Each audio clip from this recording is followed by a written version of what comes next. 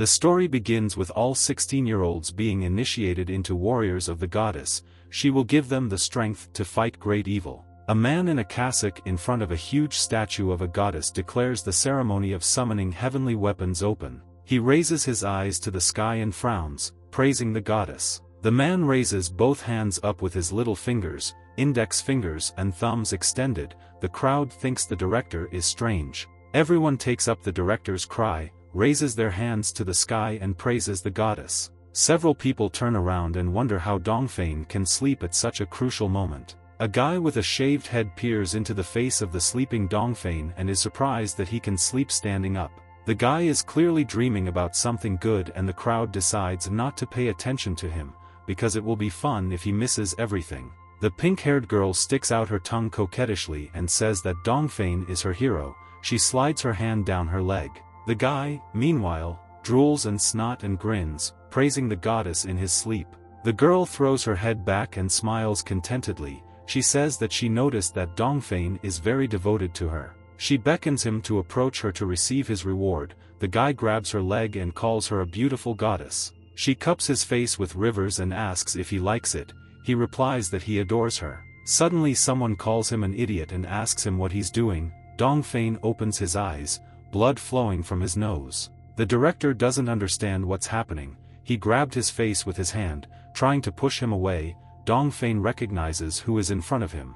Dong Dongfeng grabbed the director's leg and reached out to him with a kiss, the director asks to let him go, people took out their phones and took pictures of them. The director looks at Dongfeng with disgust and says that you can't behave like that on a holy day. He hits Dong Dongfeng in the face with a backhand and shouts for him to get out of his sight, the guy is already turned around his axis by the force of the blow. Dongfeng holds his cheek and looks around, people from the crowd tell him to come to his senses as today is a very important day and praise the goddess.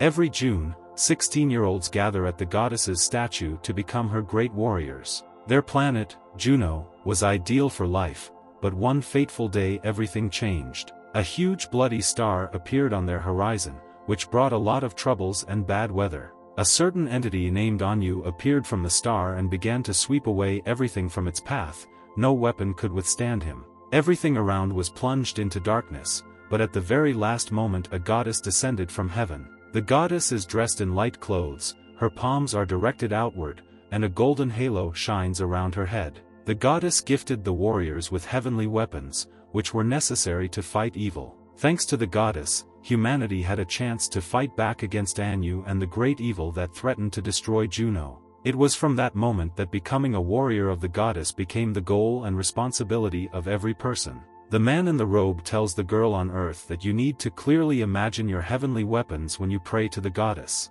He says she will feel the goddess welcoming her, the girl sits with her eyes closed and tells the director to shut up. Suddenly, a golden light in front of her face causes her to open her eyes, pieces of magic fly straight into her face. Oka laughs and spins around, receiving the spear just like she wanted, the spear is made of golden energy and dispels sparks of magic. The director congratulates her on successfully summoning the celestial weapon and invites the next person. A girl with short red hair receives a sword, it's big and she really likes it, people around are drooling at the sight of her figure. The guy with gray hair gets a katana, he likes that it suits his style, people around are amazed that it is very sharp. The next one gets the frying pan, he admits that he thought about food during prayer and does not know what to do next. A girl with short green hair receives a machine gun, she doesn't know how to use it. Dongfeng looks at others and thinks that everyone got what they wanted, a guy in the background with blonde hair is walking with a prohibitory sign. O clenches his hand and realizes that he can't concentrate because of what happened yesterday,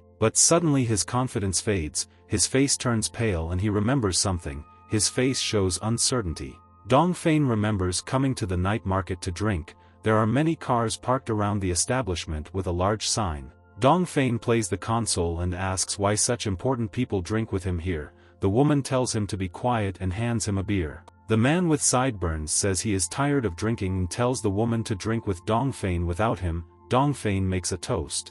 The girl asks Dongfeng if he is ready for tomorrow's ceremony and brings a glass of beer to her mouth. With her other hand she dips a man with sideburns into beer, he tries to escape, but only gurgles into the glass. Dongfeng says that his right hand has no equal, he promises that he will soon defeat Anu and save their world. The girl pours beer from her glass right in his face and screams at him not to talk nonsense. The girl is angry that Dongfeng only thinks about fighting and killing, a man with sideburns asks to change the subject. The girl and the man hover over the guy and say that they have prepared training materials for him so that he is well prepared. The girl and man laugh and take out a bag with all sorts of things and promise that Dongfana will be interested.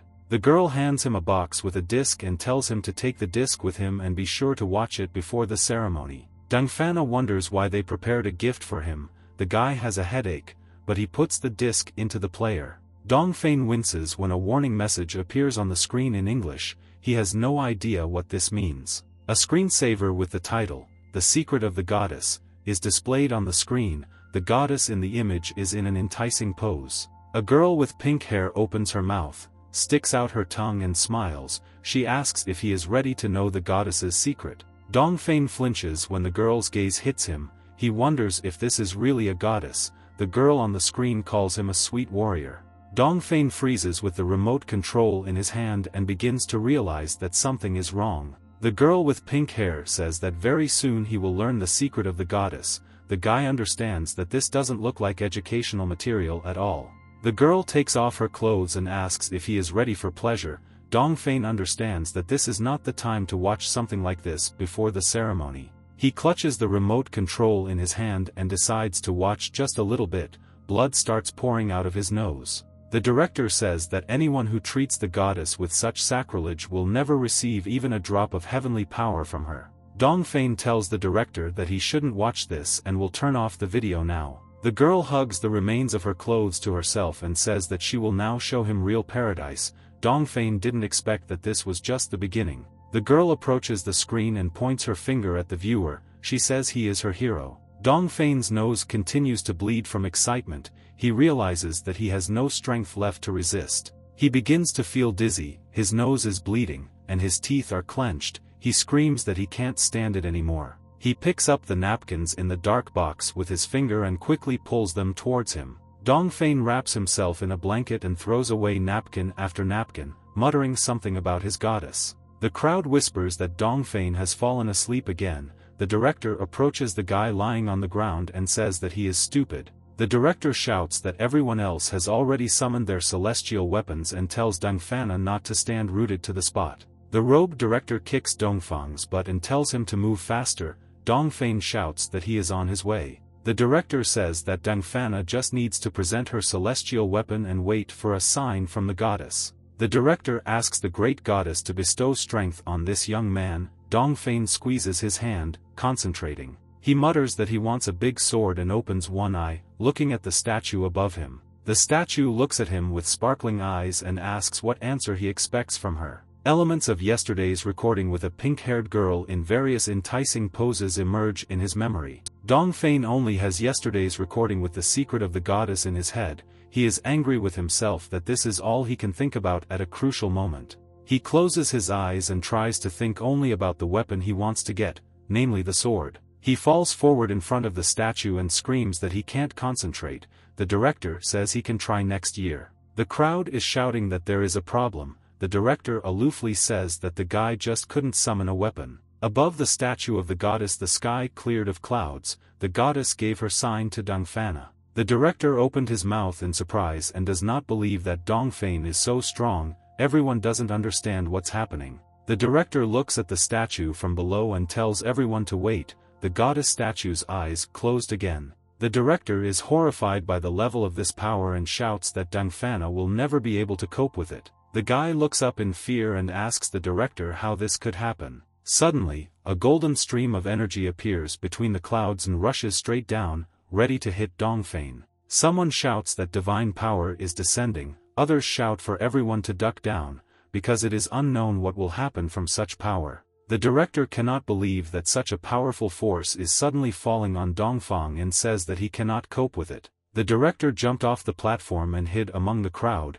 he shouts for Dongfeng to hold on with all his might. Suddenly, a stream of power hits Dongfeng, blinding him, he screams from the intensity of what is happening. Among the clouds of dust and magical sparks, a silhouette with long, flowing hair flashes. Those present realize that Dongfeng is alive when someone coughs on the platform, the director asks what kind of weapon he received. The statue of the goddess was damaged, her halo is damaged, and the broken edges still glisten with magic from the ray that made them. Dongfeng coughs and asks if he is alive and why his body suddenly became so heavy, a pink-haired girl lies on his chest. People in the crowd understand that this is not a weapon, but a girl, and do not understand how this can be. The girl opens her eye slightly, lying on the guy's chest, she doesn't understand what just happened. People in the crowd are shocked that she is alive, people ask the director what happened. The girl pushes off Dongfeng's chest and sits on him, groaning and looking around.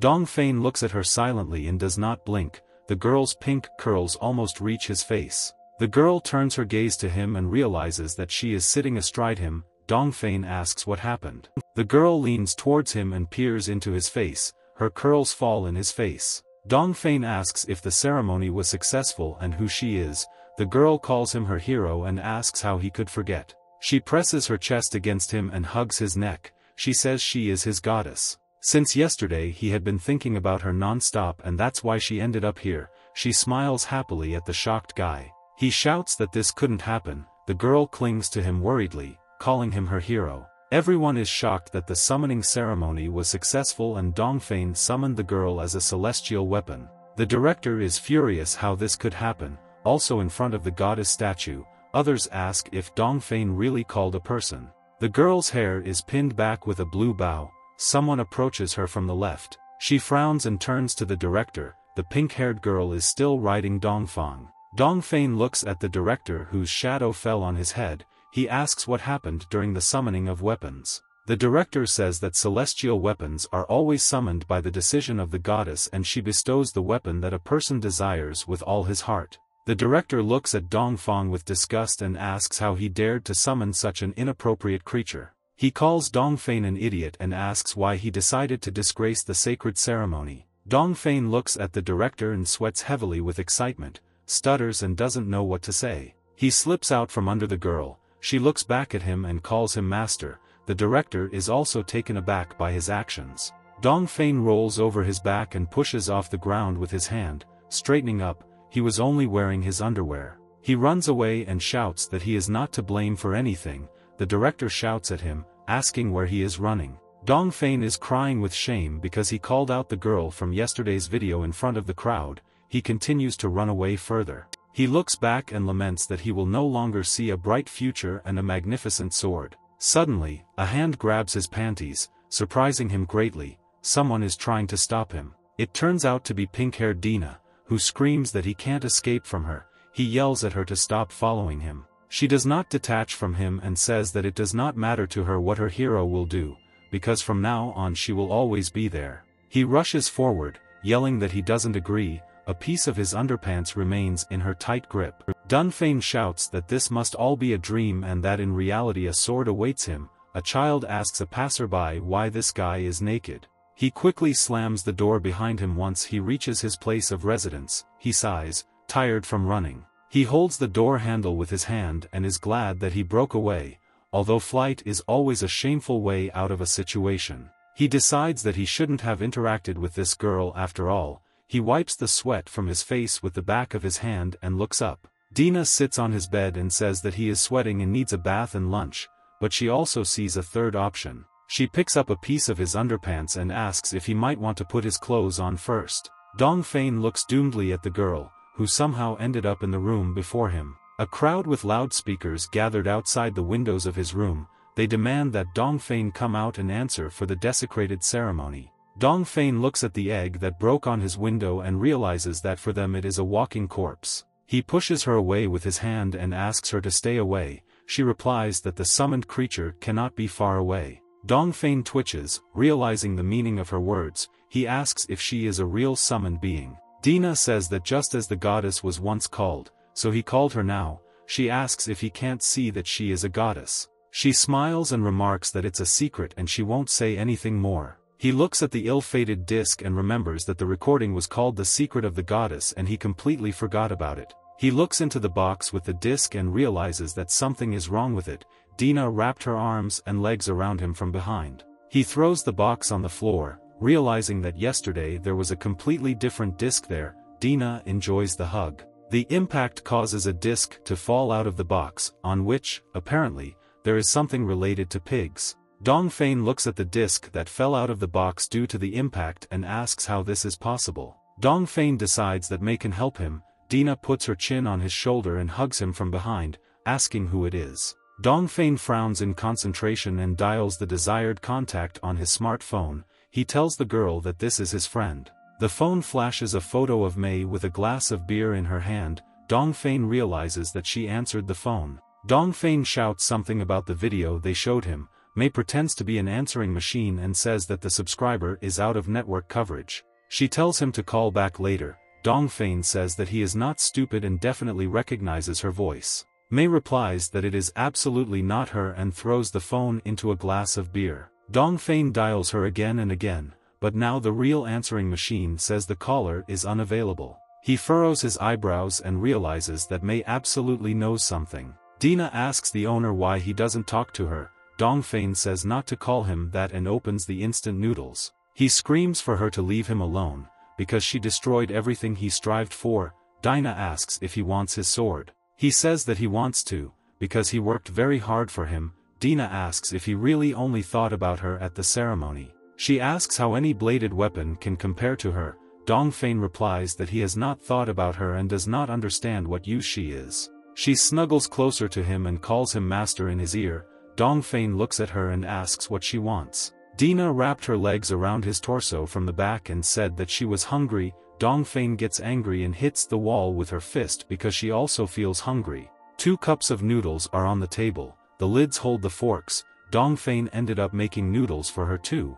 The girl laughs with happiness because Dong Fein has prepared food for her, Dong Fein frowns and chuckles at her words. Dong Fein opens the lid on the noodles and asks Dina to tell everything from the beginning and where she came from. The girl replies that she came down from heaven because he called her, she also opens the finished noodles, dropping her fork. Dong Fein says that she cannot be a goddess and asks if she is a weapon, Dina replies that she is so special, special. Dong Fein raises an eyebrow in confusion, he thinks about her words about being alone. The girl ate and stroked her belly, saying that it was delicious, Dong Fein looks at her disapprovingly. Next to the girl there is a pile of empty noodle packages, Dong Fein calls her a glutton to herself. Dina asks what their plans are for the day, he replies that she should not think that they will always be together now and that she should not spread her legs. The girl lazily leans back onto the bean-bag chair on which she has been sitting all the time and groans contentedly. Dong Fein comes closer to her and realizes that she has fallen asleep, this calms him down, as he already thought that something had happened. The girl sniffles and drools, apparently having fallen asleep in the comfort of a huge bean-bag chair, her hair fluttered beneath her. There is a blush on the girl's cheeks, she sleeps in a contented and well-fed sleep, Dong Fein decides that she needs to be moved somewhere. He carefully places her on his bed and grumbles that he didn't think that after 16 years of training he would summon a girl. Dina turns over on her side and presses herself against the pillow, he understands that with such a weapon he cannot become a hero and kill Anu. With frustration, he throws his sports jacket on the bottom edge of the bed, next to the legs of the fallen asleep girl. He lies down on the floor, covers himself with a blanket and grumbles that this is the last thing he will do for her. Dong Fein wearily closes his eyes and says that tomorrow everything will be clearer, but he absolutely must go through the summoning ceremony again. Dina asks why he needs to go through the summoning ceremony again, Dong Fein replies that he can't become a hero with someone like her. The girl innocently plays with the straps of her clothes and asks if behind every hero there should be his sexy girlfriend. She touches his mouth playfully and says that she wants to be his lucky charm, he looks at her with annoyance. He shrinks away from her and shouts that she should not come near him, but in reality he wakes up from sleep, opening his eyes wide. He looks at the ceiling and tries to come to his senses, he breathes loudly and realizes that it was just a dream. He says with relief that he thought it was real and he was scared, Suddenly someone's hand flies straight towards his face. Dina lies next to him on the floor under his blanket and covers his mouth with her palm, Dong Fein shudders in surprise. Dong Fein's eyes widen in surprise and tries to figure out if he is still sleeping. Dina is snoring calmly in her sleep, but suddenly someone says that it doesn't matter who is sleeping and tells the guy to kiss her. This turns out to be a projection of Dina, Dongfeng tells her to get out of his head, the projection only responds that it wants its hero to conquer it.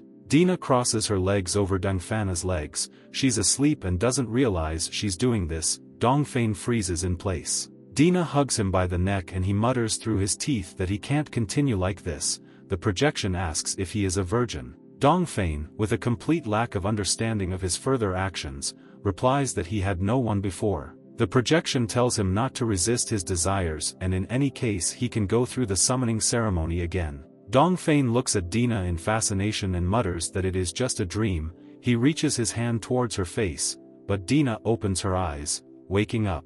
The girl opens her eyes in surprise, trying to understand the situation, Dongfeng squeals in fear that she has woken up.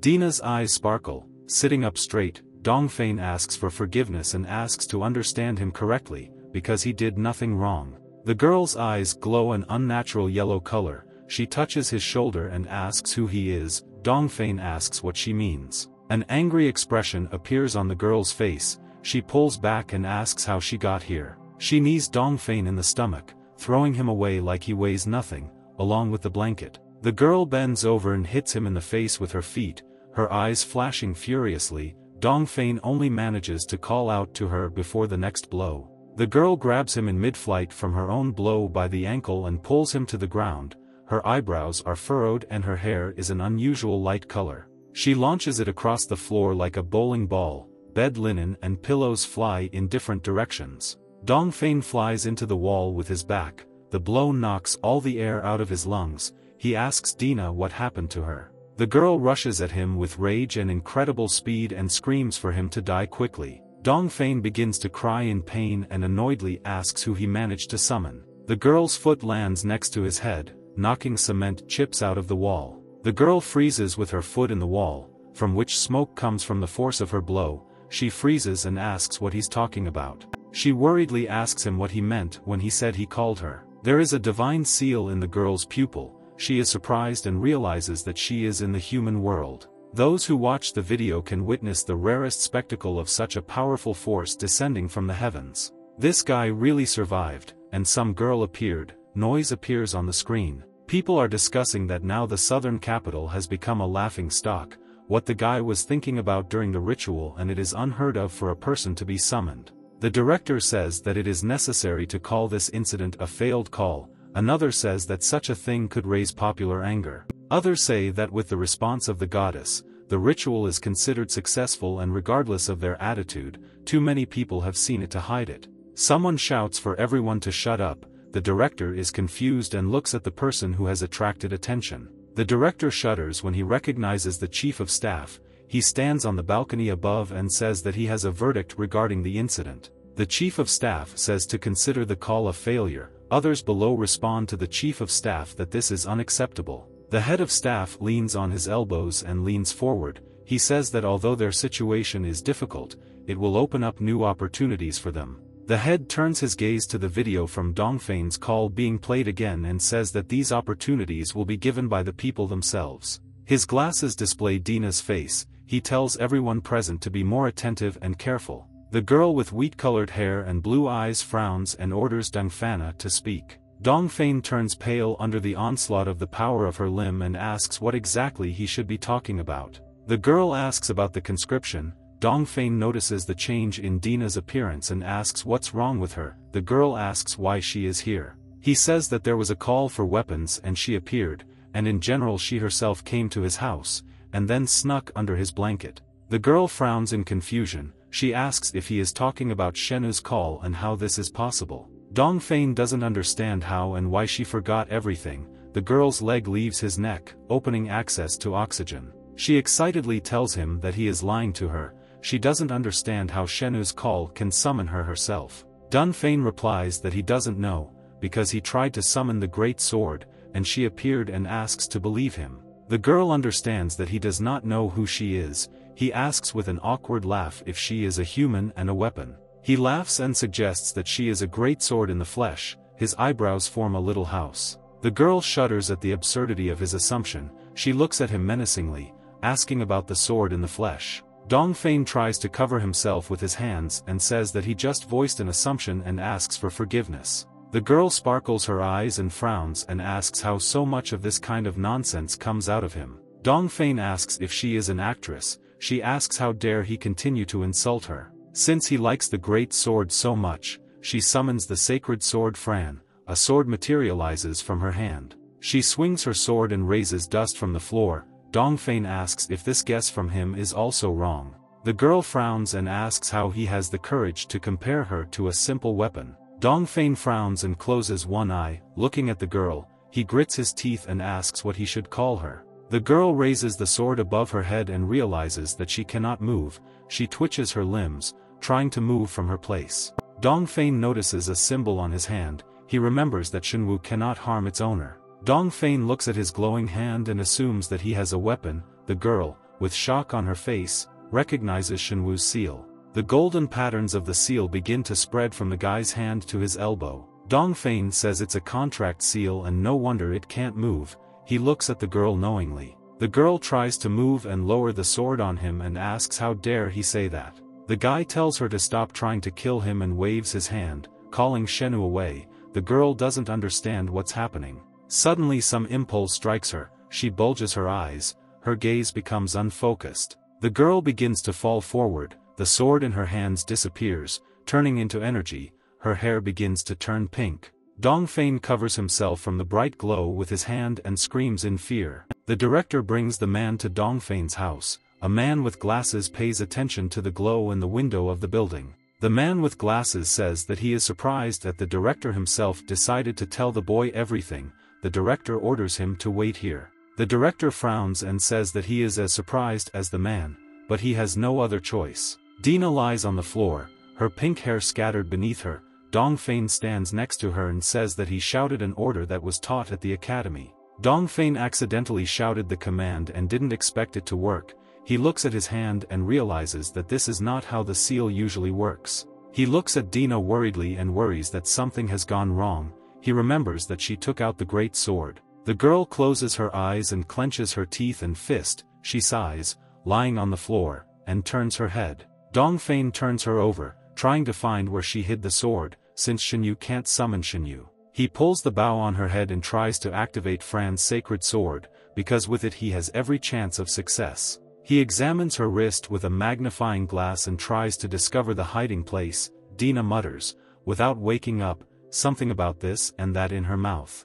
Dong Fein jumps up and asks what's in her mouth and why she can't spit it out, she mumbles about her mouth. Dong Fein suggests that her sword is an object that can be swallowed, the girl sighs restlessly in her sleep. Dong Fein opens her mouth and mutters that he knew she hid the sword somewhere on herself, the girl snores while he puts his fingers in her mouth. Dong Fein is sweating and nervous, he says that there is only drool under his fingers and he cannot find the sword there. A girl with a blush on her cheeks mutters that she has delicious noodles in her mouth, Dong Fein's fingers part her lips. Dong Fein turns pale and disappointed, he looks up doomedly and asks what kind of noodles she is muttering about. Suddenly, a sound behind the guy attracts his attention, he shudders and turns back. Suddenly the director bursts into the guy's room, hitting him in the back of the head with the door, the girl in his arms mutters something about chicken noodles. The old man shouts for Dong Fein to rejoice, because the academy has solved his problem. Suddenly the director's speech ends, something on the floor catches his attention,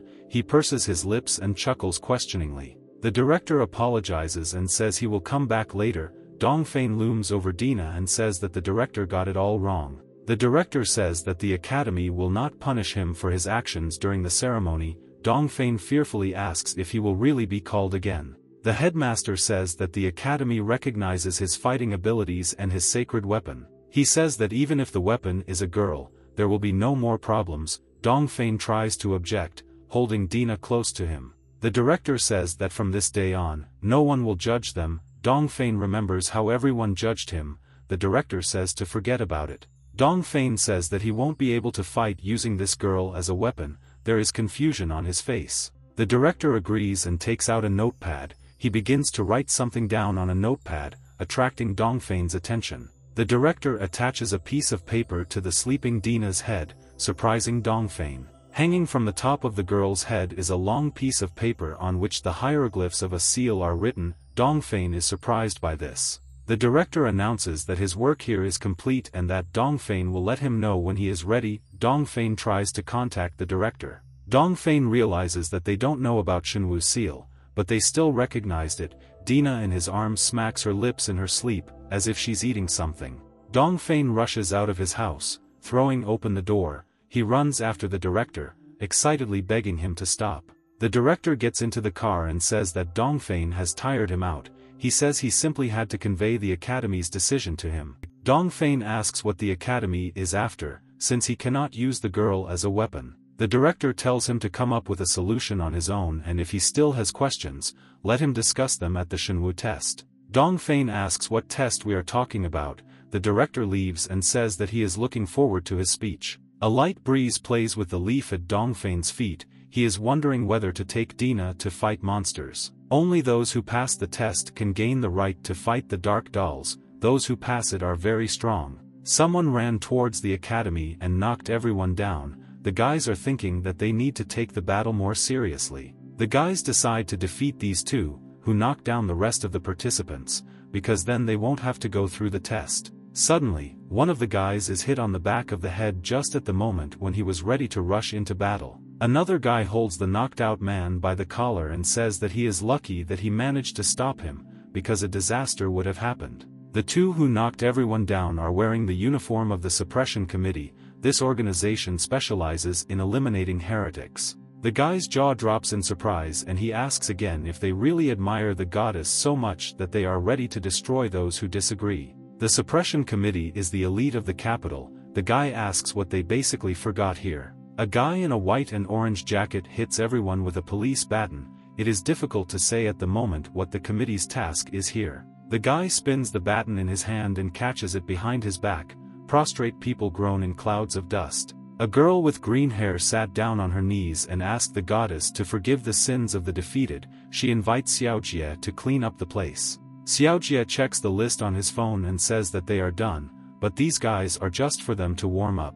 The girl says that even in this case, any disrespect towards the goddess must be severely punished. The girl suggests that Xiaojie move on to the next goal, he says that their next target can be called the King of Violators. An image of Dongfeng appears on his phone screen, accused of hugging a woman at a conscription ceremony. Dongfeng asks how Dina can't remember what just happened. He says her hair color changed and she desperately tried to hit him with a sword, the girl looks up at him. The girl says that she doesn't remember and assumes that he dreamed it all, she giggles and playfully holds out her index finger. The girl approaches him and whispers to him that if he wants her to comfort him, she will gladly do so. The guy is indignant and blushes, he stands up, forcing Dina to grab the sleeve of her t-shirt for balance, he asks what nonsense she is talking about. Dina closes one eye and agrees with his words, only to ask if they can eat first and then talk. Dongfeng understands that the director was clearly mistaken and taking her to the test is tantamount to signing his own death warrant.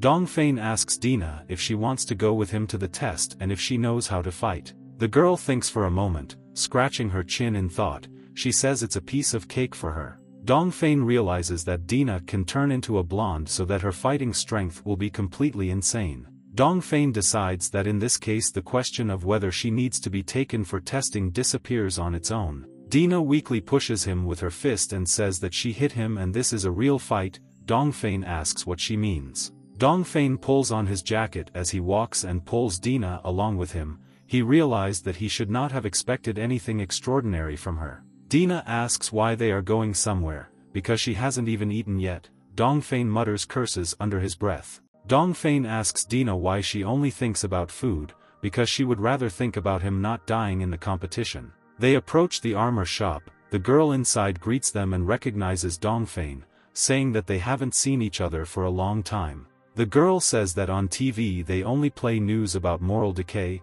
Dongfeng tells her to bring him the armor. Dina is surprised that they are in a clothing store and says that all the clothes here are very scary. The girl is surprised that he buys such expensive armor for himself, Dongfeng says he is buying armor for Dina. The saleswoman remembers that Dina is the divine weapon that he summoned, her gaze is serene. Dongfeng makes an excuse that he thought he would summon an android and did not expect it to be a real person. Dongfeng says that the academy themselves decided that she is now his weapon, Dina complains that she is hungry, but the guy tells her to be patient. Dongfeng points to a set of heavy armor and tells Dina to try on this hell armor. Dongfeng brings the giant helmet to Dina and says that this is the most popular armor in the store, because it is completely impenetrable. Dina imagines herself in this armor and it looks absolutely ridiculous with her cute face and pink bow in her hair. The girl can barely contain her laughter at the thought of such an image, Dongfeng shouts that the armor is excellent and will protect her perfectly during the test. The saleswoman says that the armor costs quite a bit, one and a half thousand academic coins, Dongfeng agrees that it is quite expensive. He asks for a discount, because his aunt went on a mission and left him very little money to live on, the girl says that this will not work. Dongfeng pays for the reservation by phone and says that the saleswoman has no heart, the girl scans his phone. She calmly explains that this store is not hers and she only works here as a salesperson. The girl looks around the hall and asks where his divine weapon went, Dongfeng is startled when he doesn't find Dina. Dongfeng frowns and realizes that Dina has run away somewhere, he begins to look into all the nooks and crannies of the store. Suddenly some movement attracts his attention, he sees pink hair with a blue bow behind the shelf next to him. The guy pulls himself up and looks behind the shelf, he asks what she is looking for there, the girl notices his presence. The girl shows him something and is very proud of her find, Dongfeng doesn't understand what she is showing him. Dina happily reports that this is very good and light armor, Dongfeng says that this armor is too expensive. Dina says that it doesn't matter what it is, but in this armor the most interesting parts of the body will be visible. Two shoppers notice Dongfeng staring at women's underwear and call him a disgusting pervert. Dongfeng doesn't understand why lingerie is sold in an armor store, he frowns and blushes. Dongfeng shudders, remembering that the underwear costs 10,000 academic coins, but Dina asks to buy her exactly that. Dongfeng looks away from Dina, considering such a price to be a robbery, Dina presses the guy, begging him to buy her this armor. The saleswoman smiles, thinking how much she earns from selling underwear, but Dongfeng will never understand this. The girl working as a saleswoman giggles, stretching her lips in a smile, and winks, looking at the guy. Dong Dongfeng snatches the underwear from Dina's hands and shouts that he doesn't have to listen to what Dina wants, he says that this wretched thing needs to be thrown away. Dong Dongfeng stomps her foot and orders Dina to immediately try on the hellish armor, because only it will protect her, the girl giggles with his anger. Dong Dongfeng pushes Dina into the dressing room, handing her a box of armor and ordering her to try it on. The saleswoman says that Dongfeng will have to compensate for the damage to the armor, because this armor is a limited edition, the guy calls her a robber. Dina peeks out from behind the fitting room curtain and calls out to Dongfeng, he widens his eyes in concern and asks what happened. The girl takes him by the sleeve, pulls him towards her and asks him to help her, Dongfeng doesn't understand why and resists, but goes. The girl furrows her eyebrows and looks down worriedly, Dongfeng opens the curtain with his hand and looks inside with a dissatisfied face. Dina has hung herself with separate pieces of armor and says that she doesn't know how to put it on. The guy looks at Dina with a raised eyebrow and says that she can't do it because of the large number of skirts she's wearing. The girl clutches the skull on the clasps and thinks about Dongfeng's words about her skirts. She smiles and blushes, she says she understands him, pressing the skull to her cheek. She begins to take off her clothes and says that she will fix everything now, Dongfeng shouts that she has no reason to completely undress. Dongfeng carefully attaches the new pieces of armor and prepares to put a plate on Dina to protect her back. The girl holds her hair and says that he pulled it too tight, Dongfeng tries to figure out the ties and tells her not to make noise. Dina raises her hands and looks at her chest, which is being squeezed and lifted by a piece of armor on her stomach. Suddenly, a scream is heard from the fitting room, the buyer and saleswoman jump in place in surprise. Dina is trembling, one eye closed, Dongfeng fixes the armor behind her, the girl asks him to be more gentle. He tightens the straps and tells her not to exhale until he's done, Dina takes a mouthful of air and tries to follow his order. Dongfeng sits on the floor and wipes the floor from his forehead from the effort, he is more tired than when he puts the armor on himself. Dina can hardly breathe after the execution with the armor, she stuck her tongue out of her mouth and raised her eyebrows. Dongfeng is pleased that he was able to put the breastplate on her, the next step is to put on everything else. Dongfeng grabs the strap and pulls, ordering Dina not to move, the girl is trying to breathe air. Dina tries to crawl out of the booth and screams that she will die if he is so rude to her, the clients jump in surprise when they see her. Dongfeng grabs her ankle and pulls her back into the changing stall, clients ask what kind of stupid pranks they are playing. Dongfeng drags her back and yells at her not to run away because they need to continue, Dina reaches out to other clients for help. Dongfeng scolds her in disappointment that she is not even able to put on armor, the girl moves away from him to the wall and asks for mercy. Dongfeng desperately shouts that without armor they can only meekly wait until they are killed. The customers crowded around the booth with Dongfeng and Dina inside, confused by the sounds coming from inside. The saleswoman shakes her head, looking at the booth from behind the counter, Dina screams that he is too rude and that someone should help her. Dongfeng fastens her armlet and orders her to stand up under the threat of cutting her diet. Someone opens the screen on the booth, Dina moans and tells Dongfeng not to touch her in this place. It turns out to be a saleswoman, she looks impassively at the two in the booth, Dina screams that she can't stand this anymore. Dongfeng notices the saleswoman who rushed into them, he has horns in his hands, Dina is bound by the straps of her own armor. The saleswoman is furious with what she saw and all the commotion they caused in the store with their screams and moans. The saleswoman asks why they shouted, she says irritably that they scared away all her clients. She kicks Dongfeng in the ass and tells him to get lost, he is carrying a box with purchased armor in his hands, Dina happily moves forward. They walk among huge skyscrapers, Dina says that what happened is completely her fault and asks Dongfeng not to be angry with her. Dina asks if she can no longer wear this armor, because it is very heavy and ugly, Dongfeng replies that armor is mandatory. He says that in the test they will have to face dark dolls, and they have no strength at all, so they need to think about how to protect themselves. She gives him a confused look and tells him that she will protect him and not to worry, his eyes widen in surprise. Someone is walking behind them, white shoes with orange soles stop in the middle of the street, their owner looking straight at the couple. Dina says she's sorry and tells Dongfeng to stop sulking, the guy realizes that someone is following them. Dina asks Dongfeng to wait for her, he runs and urges her to follow him faster. Dina looks at Dongfeng with concern and asks why he is so strange and what is the matter, the guy rolls his eyes and says he already said it. Dongfeng says that someone is watching them all the time, in addition, the pursuer gives himself away too much, the guy at the post with the newspaper flinches. The guy at the post frowns and begins to sweat heavily, hiding behind a newspaper, he tries not to show his excitement. Dongfeng sighs and says that he thinks this guy is a pervert, Dongfeng looks at the sky with disappointment on his face. Dongfeng decides that he doesn't want to deal with such idiots and runs away, the guy clutches the newspaper and mutters that they still can't escape. Dongfeng looks around and decides that they have gotten rid of their crazy pursuer, Dina looks to the side and notices someone there. Dina stops at her dream, noticing danger ahead, meanwhile, Dongfeng walks forward with the box until someone stops him. A girl with green hair and a white and orange jacket frowns and calls out to Dongfeng and the girl who walks with him. The girl has a metal stick in one hand and a book in the other, she says they finally found them, Dongfeng asks who they are.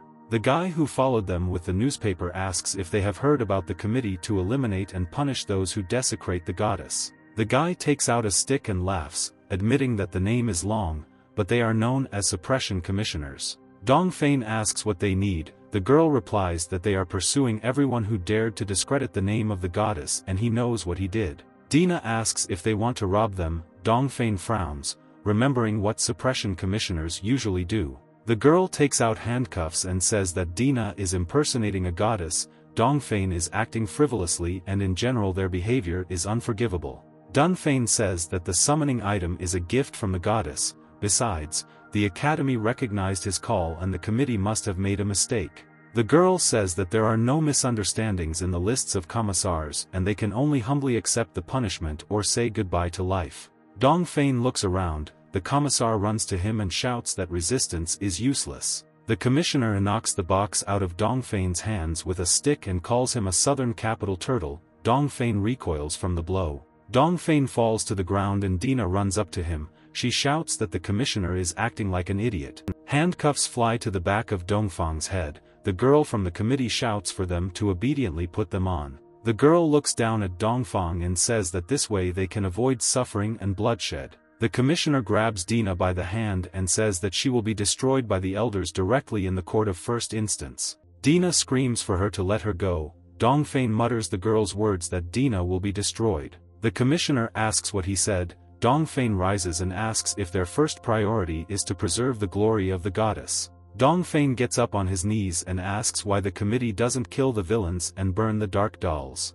Dongfeng says that instead of doing important things, they prefer to terrorize ordinary people and wag their tongues. Dongfeng frowns and says that who he calls has nothing to do with them and it's time for them to stop chatting in vain. Dongfeng steps on the handcuffs and demands that the commissioner release Dina and return her to him, the commissioner says this is outright resisting arrest. The girl with green hair turns her head in disbelief and says that Dongfeng has sharp teeth and a boneless tongue. The girl pulls Dina's hand and tells her partner, whose name is Xiao Jia, that she is leaving Dongfeng to him. Xiao Jia calls Dongfeng a boy and says that they came from the imperial capital itself to deal with him. The commissioner raises his stick and says that he is very angry and demands that Dongfeng kneel before him. Dongfeng frowns at his tone and glares at Xiao Jia from under his brows, his gray eyes are full of rage. Dongfeng jumps into the air, avoiding the commissar's strike, Xiao Jia misses, his stick hitting the ground where Dongfeng was standing.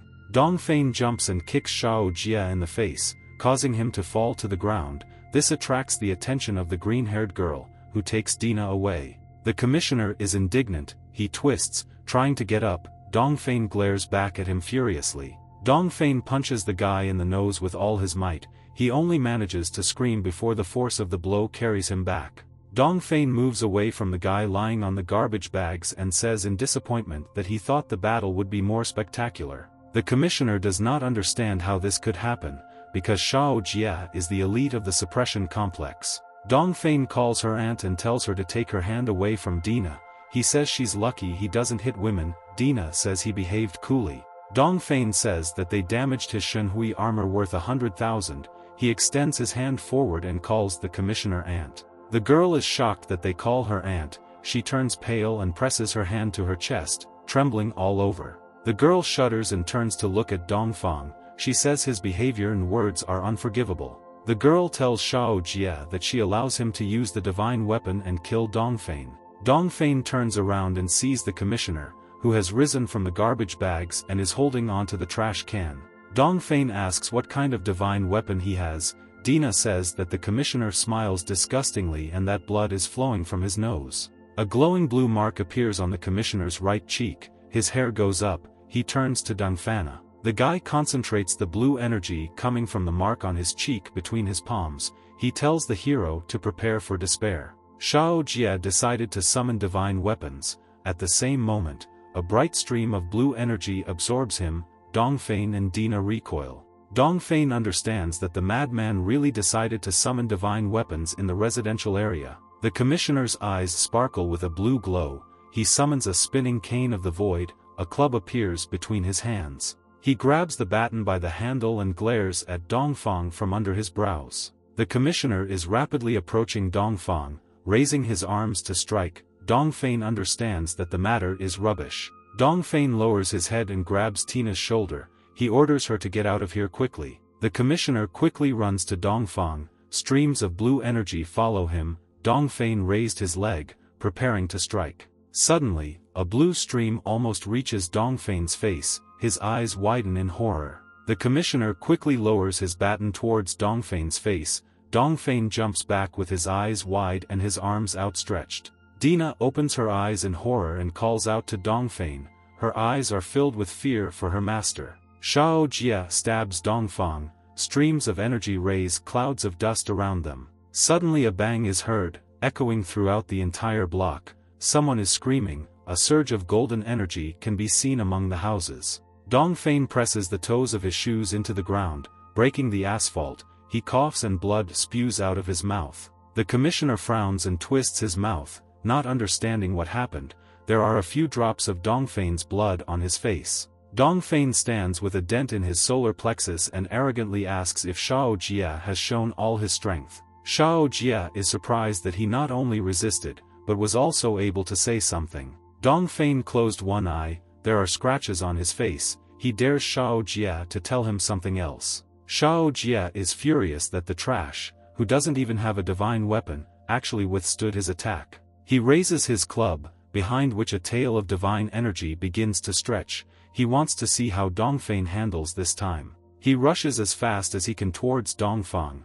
clouds of dust rise behind him, he shouts that now Dongfeng will close her eyes forever from his hand. Dongfeng froze in place, he realizes that his body has stopped listening to him, he stops noticing the world around him. Dongfeng bends and trembles, realizing that he is unable to resist the divine weapon. Dongfeng tucks his chin to his chest and looks forward, he realizes that today may be his last day among the living. The girl with green hair frowns and says that the committee's mission here is completed. The girl turns and tells Dongfeng that his time as a heretic has come, suddenly something catches her attention. Dina stands in front of Dongfeng and shouts that Shao Jia should not dare to hurt him anymore, Dongfeng opens his eyes in shock. The guy shouts at her not to be stupid and to leave quickly, the girl turns to Dongfeng in alarm. Xiao Jia's eyes glow scarlet, he runs in rage and shouts that now they will both die from his blow and it will be even easier this way. Dina clings to Dongfeng's chest, he hugs her back, there are blood stains on his sleeve. Xiao Jia attacks the hugging couple with his baton, Dina shouts that she will definitely protect her Dongfeng. A beam of golden energy hits the heavens, she promises to take revenge on anyone who offends Dongfeng.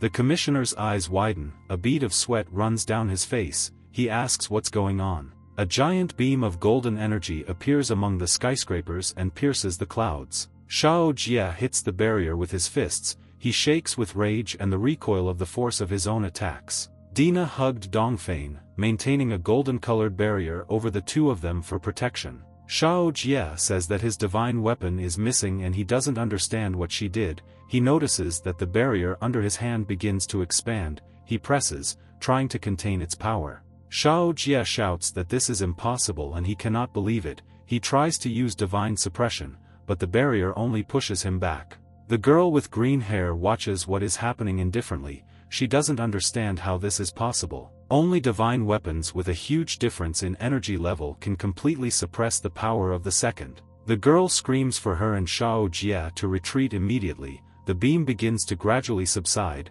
decreasing in scale. Soon, the beam of golden energy subsides completely as it reaches the ground, there is devastation and clouds of dust all around. Dongfeng was speechless, he opened his eyes in surprise and almost touched Dina, who was lying on his chest. Dongfeng anxiously tries to help Dina wake up by shaking her shoulders, behind them there is a dark figure in the sky. It turns out to be a drone, he hovers in the air above the building and watches Dongfeng, who is trying to bring Dina to her senses. The drone's lens glows blue, from the robot speaker comes the words that this is incredible. The chief of staff looks at the screen in surprise, he realizes that Dongfeng has summoned a living divine weapon. He sits back contentedly and smiles, admitting that it was worth seeing. Someone stirs a drink in a cup, the man says that they should not be released, because unstudied things without observation usually bring a lot of trouble. The man takes a sip from the cup and says that even the fate of humanity may be at risk. The head asks them to observe more changes,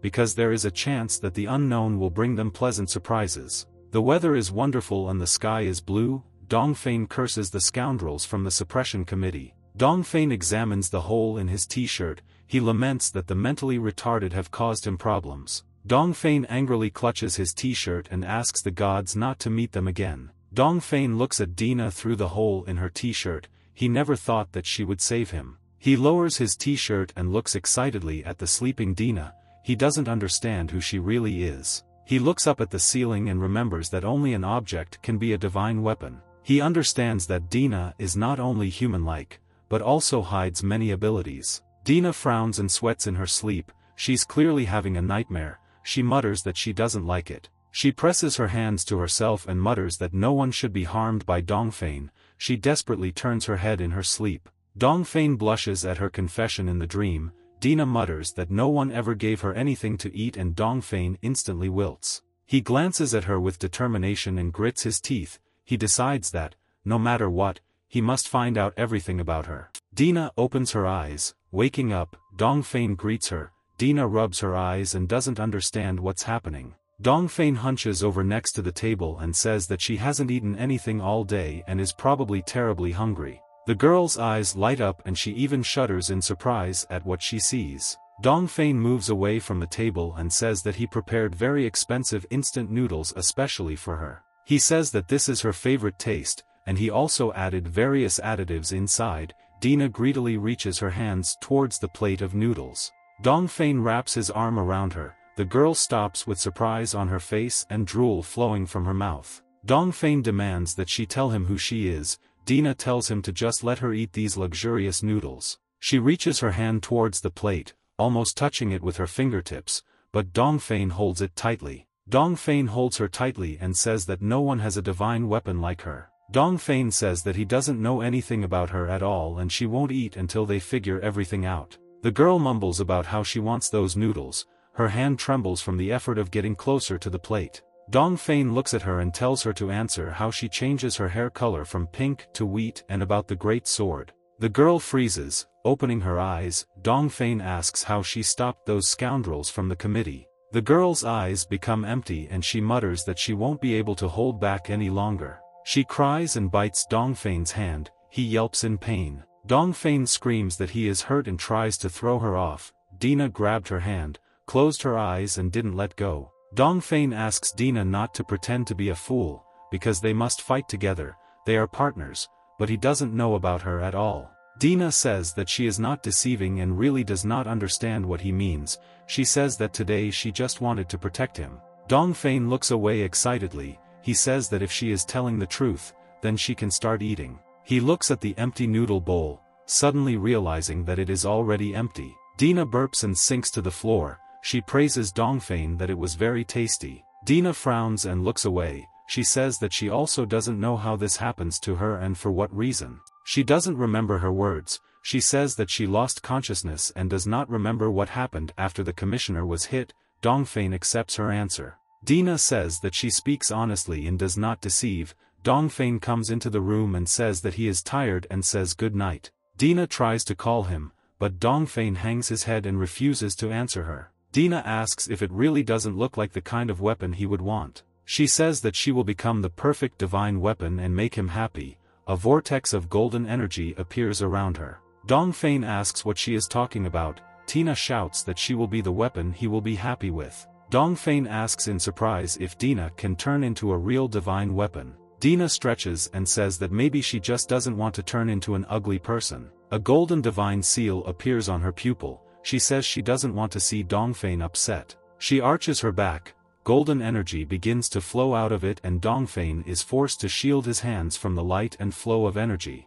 Dongfeng recognizes the divine radiance and admits that he could not think that Dina could turn into a real divine weapon. Dongfeng wonders what she will turn into, he assumes that this must be the same great sword. He rejoices that from now on he also owns a divine weapon, but suddenly everything calms down and the steam dissipates. Dongfeng moves closer to where Dina stood, pieces of her clothing fall to the ground. Dongfeng looks at Dina's clothes lying on the floor and does not understand where his great sword is. He leans closer and peers at the objects on the floor, he decides to search through the clothes. He suggests that the sword may be hidden under clothing, he reaches for the handle, which sticks out from under the fabric. He rests his hand on the floor and feels the handle under the fabric with his palm, suddenly something begins to tremble under the fabric. Dongfeng throws both hands on the fabric and orders Dina to stop hiding, suddenly he catches some movement out of the corner of his eye. He quickly feels the fabric, trying to catch the object underneath, he shouts that he will catch her sooner or later. He dives his hand under the snow-white fabric and catches the weapon that Dina has turned into. He triumphantly lifts the cloth and shouts that Dina will never hide from him. His hand grasps an incomprehensible object, Dina says that she is very cool and successfully transformed the first time. Dongfeng picks up the divine weapon and says that it reminds him of something, Dina confirms this. She says she turned into Mr. Wang's signature barbecue balls, Dongfeng looks completely defeated. He throws the divine weapon in the trash and asks Dina to pretend they don't know each other. Dina holds Dongfeng's shirt and asks why he is still unhappy if she has transformed. Dongfeng shouts that he won't fight with barbecue balls, Dina replies that you can't judge a book by its cover.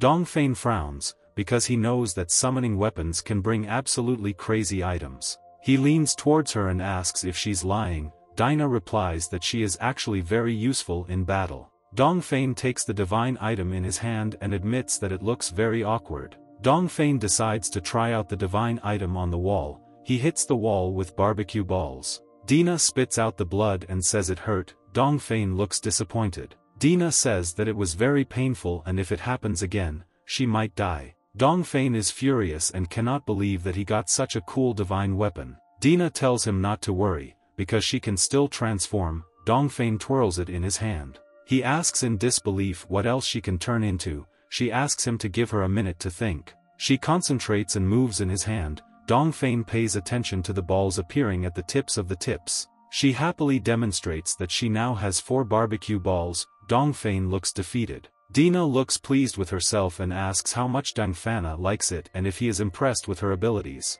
Dongfeng doesn't believe he's being asked this, Dina asks him to wait and see what else she can do. Suddenly a duck emerges from it with a hatchet in its head, the duck quacks, greatly surprising Dongfeng. More and more items appear from Dina, such as donut, radish, ham, sandwich, noodles, baguette and the like. From Dina comes stewed fish, roast suckling pig, hamburgers, and croissant, all the food is poured towards Dongfeng. Fried fish falls on Dongfeng's face, all the juice and fat from it floats down his face. Dongfeng, with a fishy face, asks her to stop, Dina is afraid of his anger and stops creating food. Suddenly all the food stops steaming, Dina jumps off the floor and hides under the blanket on the sofa, she says he is very rude. She stirs under the blanket and says that she tried very hard to please him, but he doesn't appreciate her at all. Dina turns into her human form, peeks out from under the blanket and says that Dongfeng is terrible.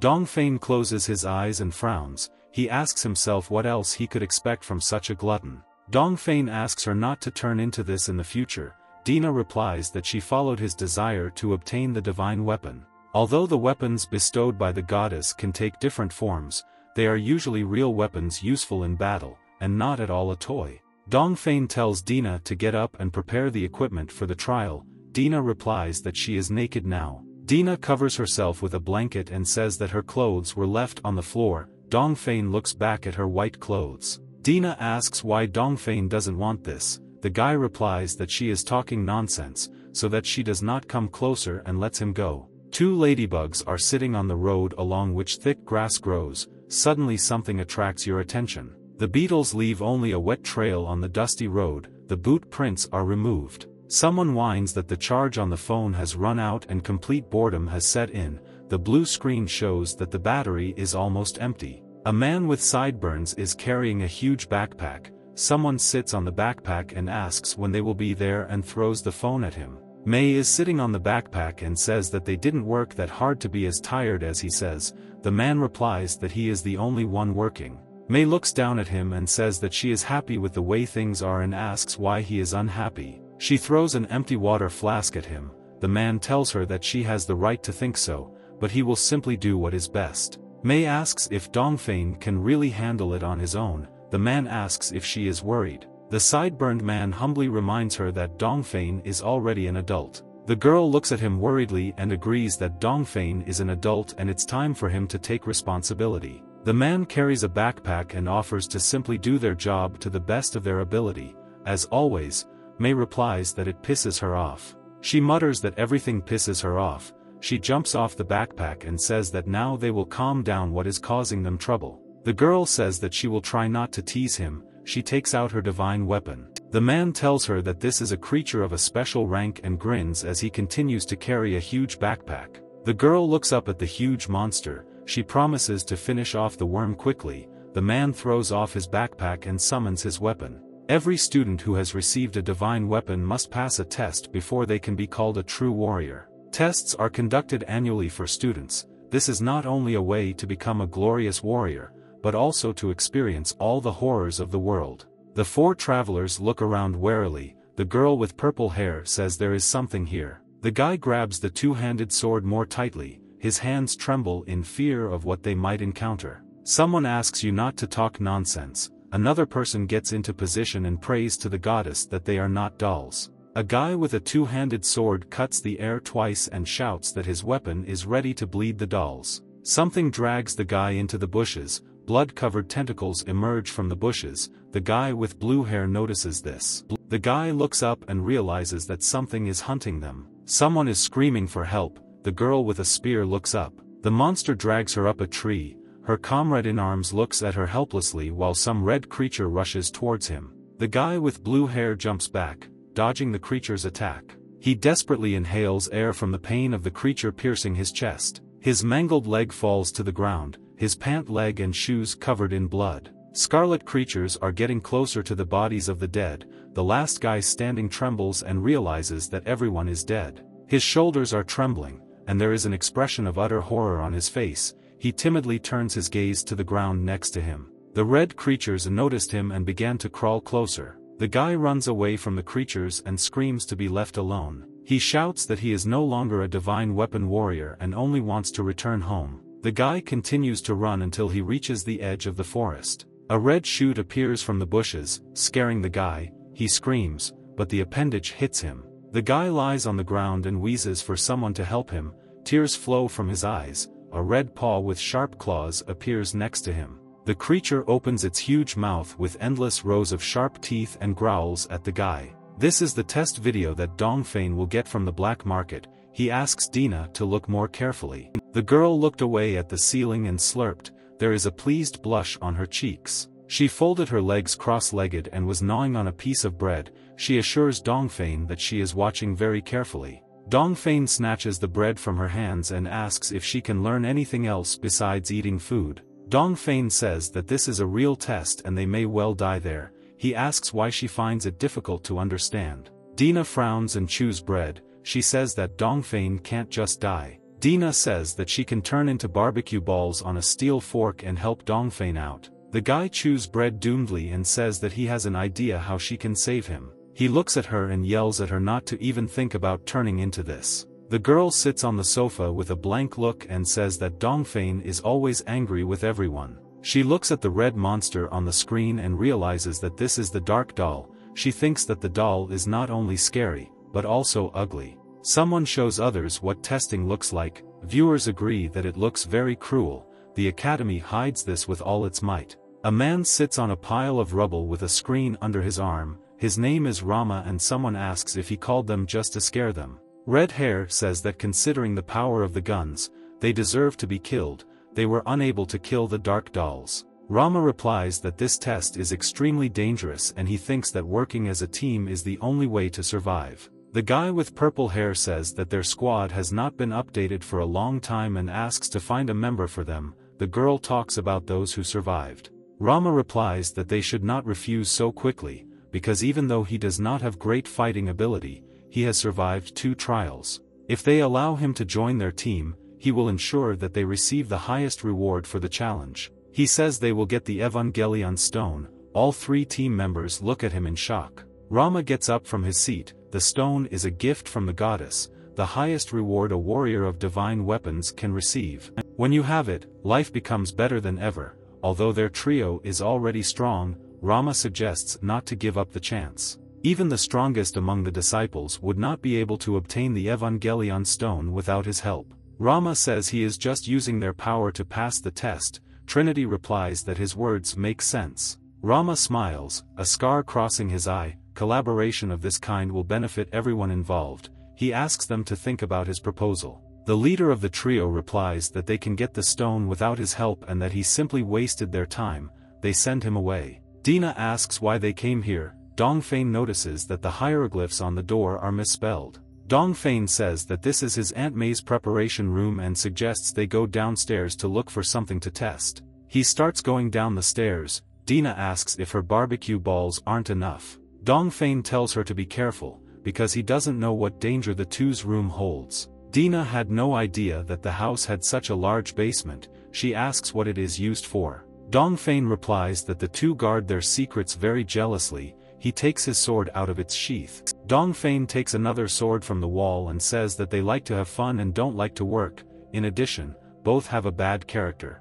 Dongfeng puts the weapons in his bag and says that they love drinking and fighting and don't take anything seriously. Dongfeng stands in front of the huge armor and asks Dina to bring him all the weapons she sees. Dina goes up the stairs and agrees. Suddenly her foot slips off the rung of the stairs, she screams and starts falling down. She falls, clutching the ladder and screams for Dongfeng to help her. A crash is heard, Dongfeng looks around in surprise. Dina says the ladder suddenly fell, Dongfeng shouts that she is stupid. Dina hands him a grenade, she says she found it on the shelf and really liked it, Dongfeng notices that the fuse is lit. He screams for her to give it to him immediately and snatches the grenade from her hands. Dongfeng blows out the fuse of the grenade and sighs with relief that it was close. Dongfeng says they just almost exploded, Dina calls him greedy, Dongfeng asks her not to touch his aunt's toys. Dina says the grenade looks cool and cute, Dongfeng tells her not to touch the grenade anymore.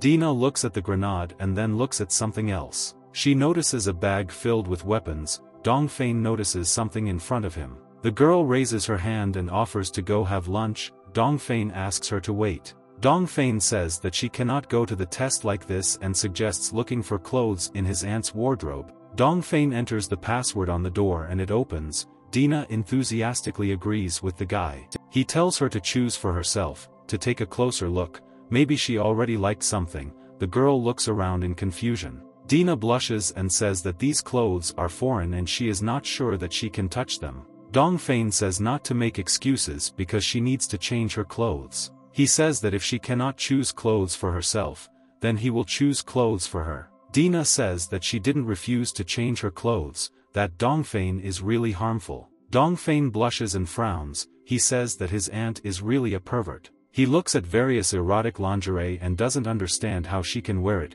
suddenly something catches his eye. He looks up and sees a set that will suit Dina, Dina shyly approaches him and asks if she needs to wear it.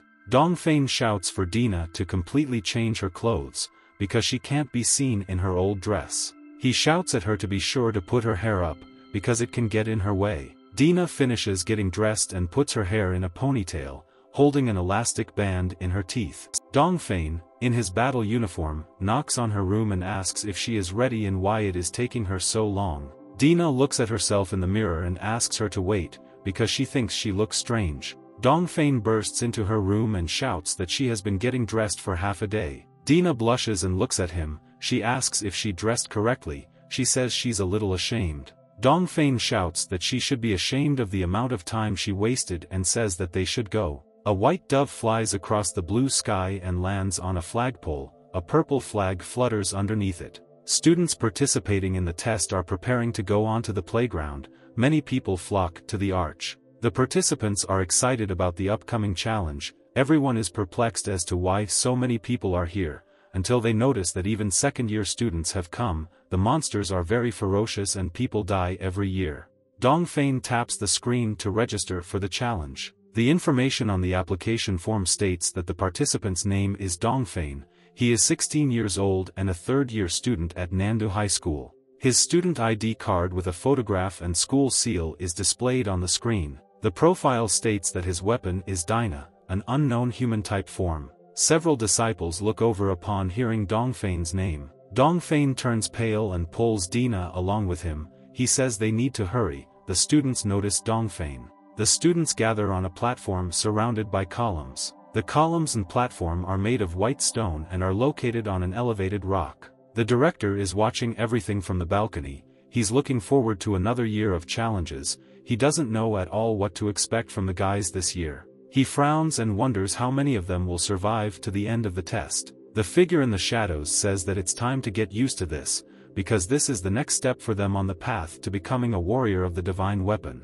The director says they are too young for that, the figure tells him to watch his tongue as it is their sacred duty. The woman says that death is inevitable for everyone, because some will die of old age, and some will die on the battlefield and they should not be sad and regretful. The woman tells the principal to boost the student's morale, he just smiles sadly, clutching the microphone in his hand. The director's face appears on the screen, he says that today is the day of the test and greets everyone present. He loudly announces that today marks the end of their student life and the beginning of their military career. They paid for this day with sweat, blood and painful training and that is why he is proud of them. The director asks to remember that they are warriors of the goddess and prays that the goddess will bless them for centuries and wishes everyone good luck. The students complain that the principal talks too much and eagerly waits for the gate to open, Dongfeng says it's time for them to go too. The gate opens, Dina asks if the test will take place here, they look at the picturesque landscape.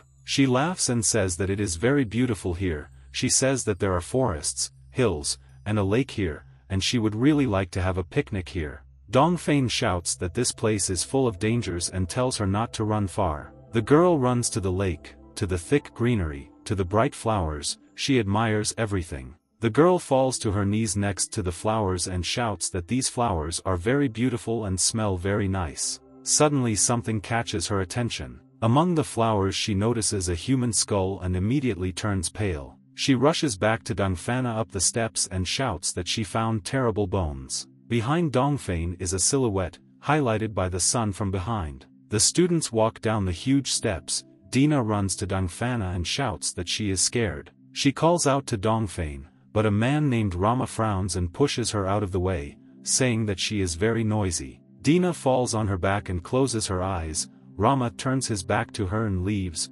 Dongfeng notices this and hurries to Dina. He helps her up and shouts that the man behaved like a bastard. Rama doesn't even turn around and just moves on, grunting. Dongfeng screams for the man to apologize to her, but suddenly a beam of golden energy flashes near his cheek. Rama stands with a gun in his hand and says that he knows that the guy's name is Dongfeng, the hero is bleeding on his cheek. Rama asks how the scum without a divine weapon was going to force him to apologize. He advises Dongfeng to think better about how he is going to survive, the guy frowns upon hearing his words. Only students from the southern capital have access to the test, and three are denied entry. Shao Jia grits his teeth and asks what the gatekeeper told him. The guy shouts that they are commissars for suppression and must be allowed inside, the girl says that they have the necessary qualifications. Shao Jia says that they are also still students and must be allowed through, the gatekeeper doesn't know what to tell them. The girl says that the committee represents the glory of the goddess and they have no right not to be allowed inside.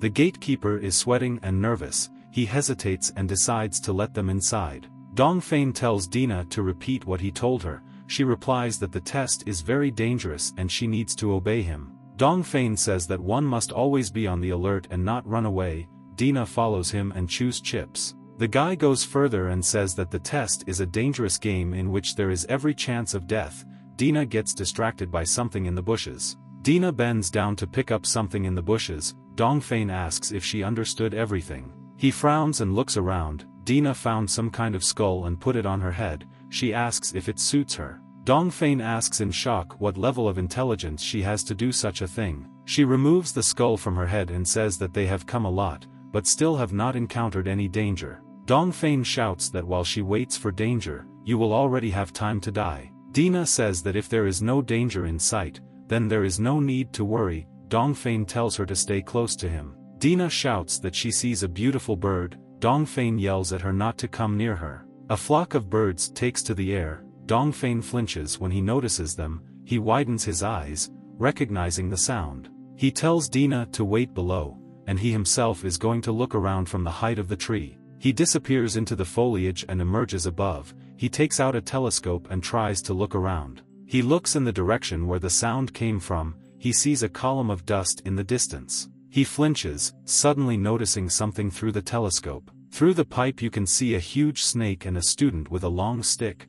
Dongfeng realizes that it is a doll of darkness. The student with the stick screams and flies straight into the monster's mouth, full of sharp teeth. The student blocks the monster's jaws with his stick and tells him to die. The blonde closes his eyes and sees how his stick begins to break. The doll of darkness dives down, breaking the disciple's divine weapon, the blonde screams for help. Dongfeng realizes that he has been eaten, there seem to be dolls of darkness in this area. Dongfeng comes down from the tree and says it's time for them to leave, Dina sits by a tree and hums. A snake crawls around a tree, she approaches Dina while she gets her food. Dongfeng lands and crushes the snake, Dina only manages to scream in surprise. Dongfeng grumbles that it is not only the dolls of darkness that pose a danger on the battlefield. Dina thanks him for saving her, Dongfeng asks what she is holding in her hand. The girl looks away and says it's nothing special, she hides the object behind her back. Dongfeng is wary, but does not continue to insist,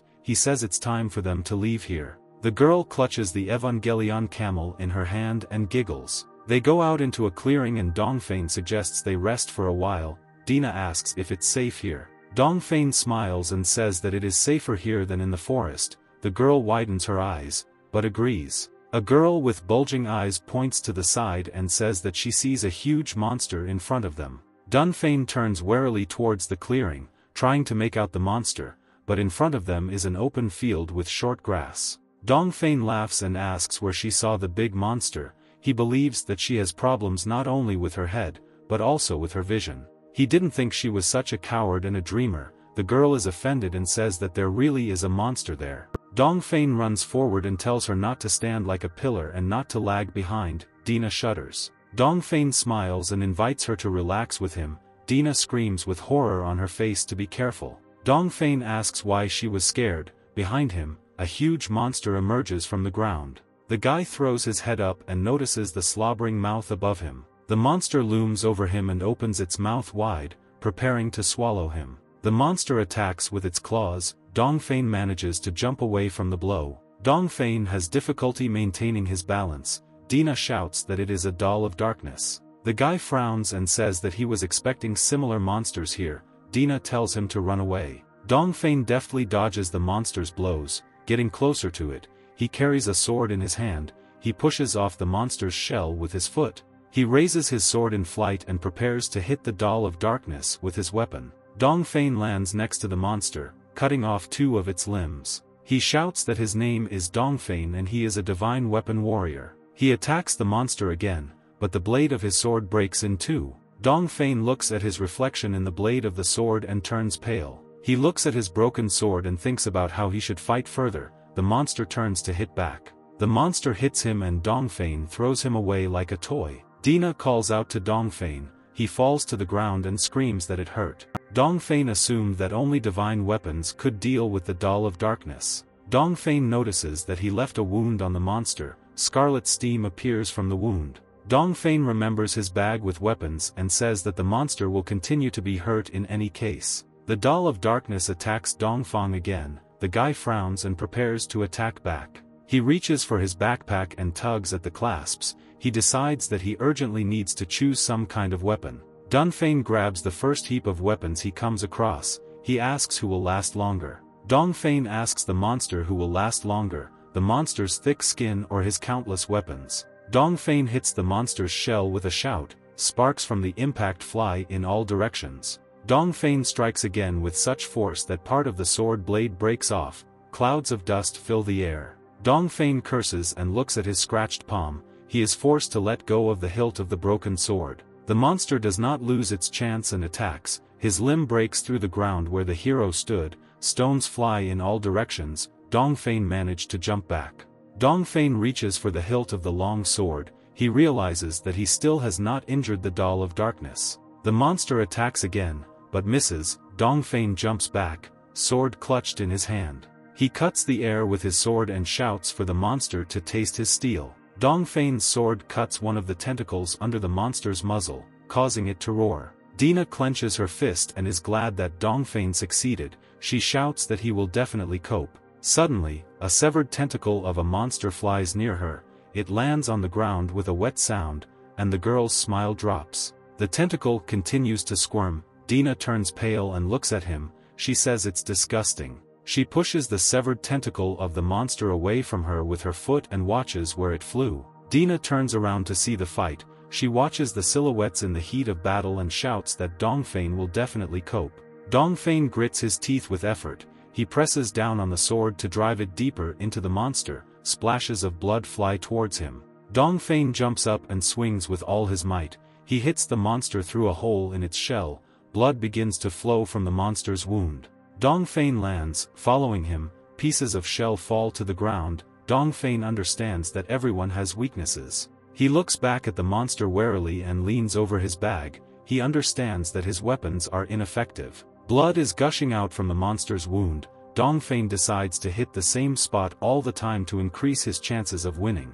Dongfeng believes that with enough effort, he can win, Dina opens a bag of chips. Dongfeng strikes with precision with his sword, hitting the monster again and again, he damages the shell of the evil doll more and more. Dina watches him contentedly and chews chips, she decides that Dongfeng is an ideal man and even such an evil doll of darkness does not matter to him. Dongfeng strikes again and screams for the monster to finally die, his blow throws the monster back. Dongfeng frowns and looks at the monster, the monster has no eyes, but it clenches its jaws, hidden between its tentacles. The monster rears up and hits Dongfeng with its head, the guy is thrown back, he screams in pain. Dina shouts for Dongfeng to quickly destroy this monster, she is chewing something and choking, trying to clear her throat. Dongfeng flies on the ground, the monster digs in the ground, Dina says that nothing bad happened and that Dongfeng should not give up. Dongfeng tries to remember her aunt's words about what to do if the doll's surface is protected and there is no divine weapon. The monster raises its snout and roars towards Dongfeng, suddenly a lump of garbage flies into his face, Dina yells at him to shut up. Dina shouts angrily that the monster already looks disgusting and disgusting, and he also beat Dongfeng.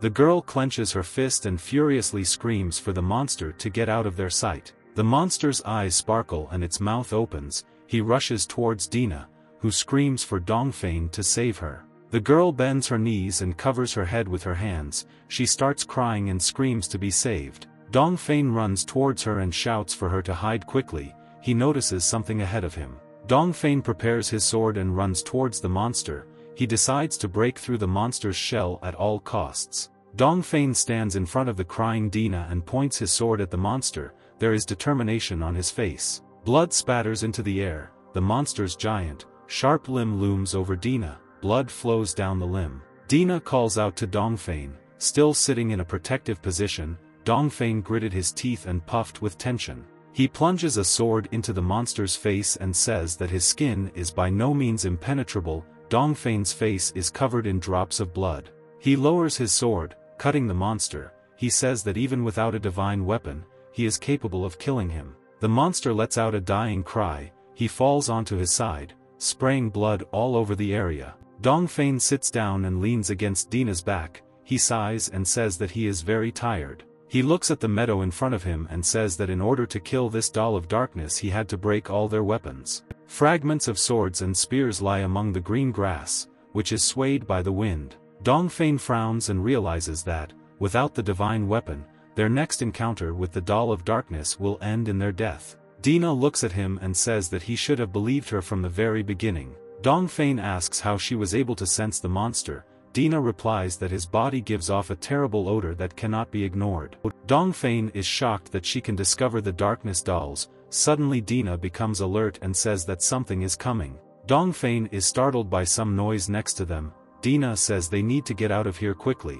Next to them, more dolls of darkness appear from the ground, Dongfeng jumps up and asks why she didn't tell earlier. The monster's eyes glow red, and its body is covered in the same protection as the body of the defeated monster. Dongfeng turns and asks why Dina didn't notice them earlier, since she has such a wonderful nose. Dina says that he didn't believe in her and that made her angry, they are surrounded by monsters on all sides. The gray-haired girl notices that they are in trouble and summons a divine weapon to save them. Dongfeng turns around at her voice and tries to make out the person who is summoning the weapon. The girl screams for them to duck, a huge wheel cuts through the air over the meadow, mowing down the leaves of the grass. The wheel hits all monsters in turn, Dongfeng and Dina close their eyes to protect themselves from the wind and dust. Pieces of bodies fall like monsters to the ground, raising even more dust, the wheel bounces off the ground and flies upward. The girl jumps up and deftly catches her divine weapon in the air with one hand.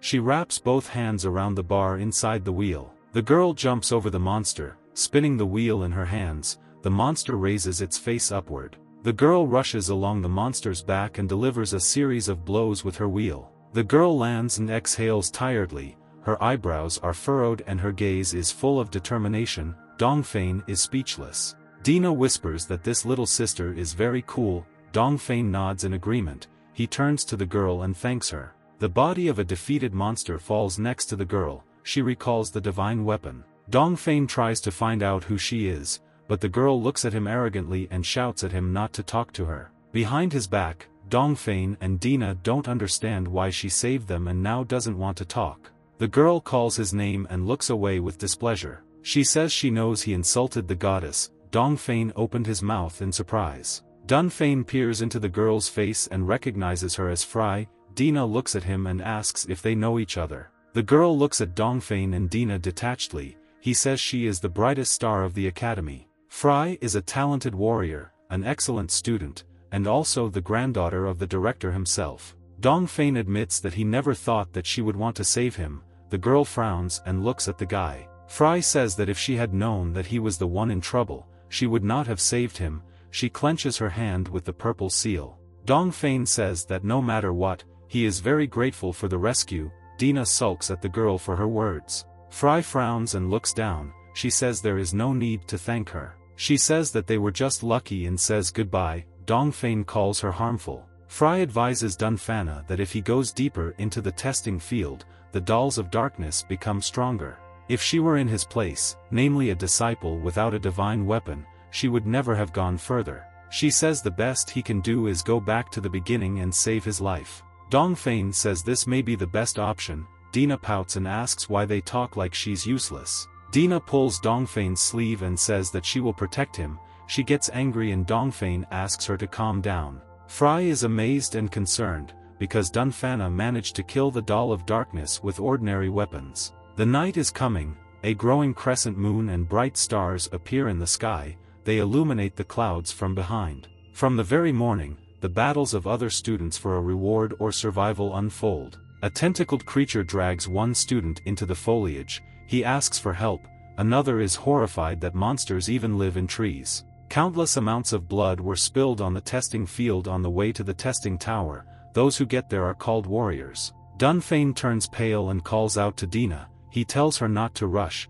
because the meat is not ready yet. The girl pokes a huge ham with a stick and says that she can't wait any longer and is in great pain. She says that food is the best part of life and she has always considered food to be her best friend. Dina leans too close to the fire and a lock of hair near her face catches fire. Dina screams that her hair is on fire, Dongfeng replies that her best friend just betrayed her. Several days have passed and they have not met a single doll of darkness, Dina, meanwhile, behaves as usual. Dongfeng hands the meat to Dina and tells her to eat, because it is cooked, Dina crashes into the meat and hits her chin on it. She bites into the meat and blushes with satisfaction, her eyes sparkle with pleasure. All they do all the time is satisfy their needs, Dongfeng doesn't understand whether the trial is still ongoing. Dina clings to him and squeezes him tightly in her arms, Dongfeng exhales from the strength of her grip.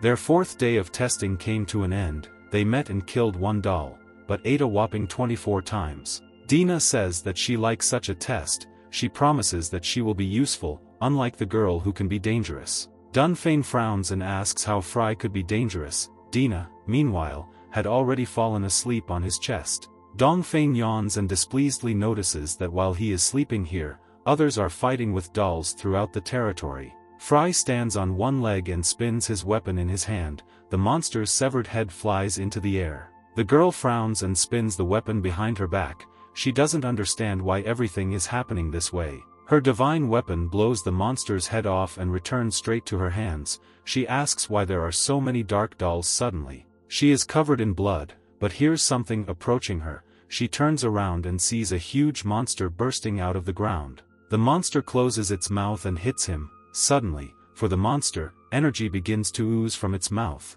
Fry sighs tiredly and frowns, she is covered from head to toe in monster drool. She leans on the crossbar of her wheel and sinks, she says her body is very tired of fighting. She leans on the ground with a wet hand and says that this is her limit, she crawls out of the monster's mouth and wonders why they are all attacking her. The girl dusts off her wheel and says that there is something wrong with it. Suddenly, two more dolls of darkness appear from the forest, they rush towards the girl, opening their mouths wide. The girl whispers tiredly that today she has every chance of dying, her face is covered in scratches and her hair is wet with saliva. Dust rises into the air on the rock, a crash and roar is heard, a small figure of a girl falls from a cliff. The frame stands on another ledge above the raging streams of water, he laughs, pleased with his efforts. Rama says that for the rest it's all over and the main characters of the competition will clearly not be them. He looks with the others at the splash that Fry created, Rama says she gets zero points for this landing. The other guys look at Ram warily and ask if this will get them in trouble. Students are not only warriors of the goddess, but also children of the strongest families, and if someone finds out about this, they will not be happy. Rama says that a lot of people die every year, so no one will notice, he says they better pay attention to the advantage they've gained. The Evangelion stone is a treasure that can change fate and anyone who tries to take it from Ram will regret it. Frey's body is carried away by the raging waves of a mountain river, she lost consciousness and limply submitted to the force of the elements. Someone is calling Dongfeng, he can hardly open his eyes, he rubs his eyelids and calls out to Dina, the fire next to him burns brightly. Dina calls Dongfeng and tells him to quickly come to her, he notices her clothes on a bush next to him. Dongfeng winces and asks what happened to her, his eyes are wide with fear. Dina calls him to come to her quickly, her face is wet but calm. Dongfeng grabs her clothes and runs to where he hears the voice, he asks why she is calling him. He looks into the bushes and asks what happened, white panties fall onto his face, Dina giggles and looks over her shoulder at him. A couple of leaves got tangled in Dongfeng's hair, he takes the panties off the branch and asks what they are. Dina tells him to hang them up, she hugs herself by the shoulders, her skin covered in water, Dongfeng turns his gaze to her. Dongfeng clutches her clothes in his hands and stammers, Dina says that she found the river herself and invites them to swim together. Dina asks why he froze in place and invites him to come down to her, Dongfeng blushed and looked at her. Dongfeng turns pale, trembles and says that they are on a test, Dina answers that she knows, she runs her hand through her hair. She says that she hasn't bathed for so long that there's already an unpleasant smell. Dina runs her hand along her neck and tells Dongfeng to quickly come down to her, and she will rub his back. Dina closes one eye in pleasure, a man ends up in the water, face down. Dongfeng points to the man and asks who it is, Dina looks at the man behind her. Dina says that this is that arrogant girl and she has been swimming here for a long time, Fry flips over on the waves face up. Dongfeng freezes in place, he calmly asks how long she has been bathing. Dongfeng snatches Fry out of the water and shouts to Dina that a person is drowning next to her, and she still didn't understand it. Dongfeng puts the girl on the ground, he realizes that she is still breathing. The guy turns around and asks if Dina knows how to do artificial respiration and cardiac massage. Dina frowns and says that she will not save the girl who spoke so rudely to him. His hand trembles and trembles and he decides to bring the girl to her senses on his own, and Dina will dry her clothes. He presses down on Frey's chest with his hands until she coughs up the water that was in her lungs. Water from her lungs hits Dongfeng's face and he tries to dodge and close his eyes. The girl clears her throat and opens her eyes. She gets up and asks where she is, Dongfeng asks if she woke up.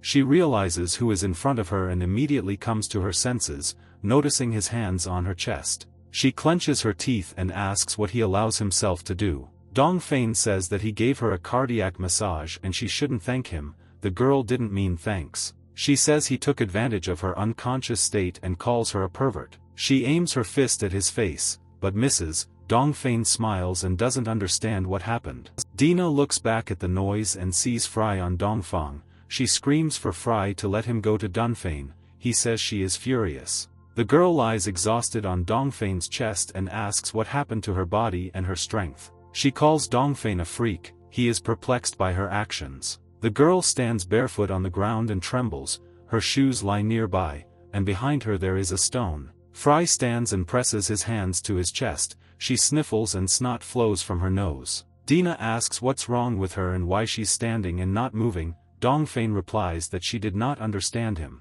He told her to dry her clothes and not burn them, Dina says that she accidentally mixed it up and giggles, Fry sneezes.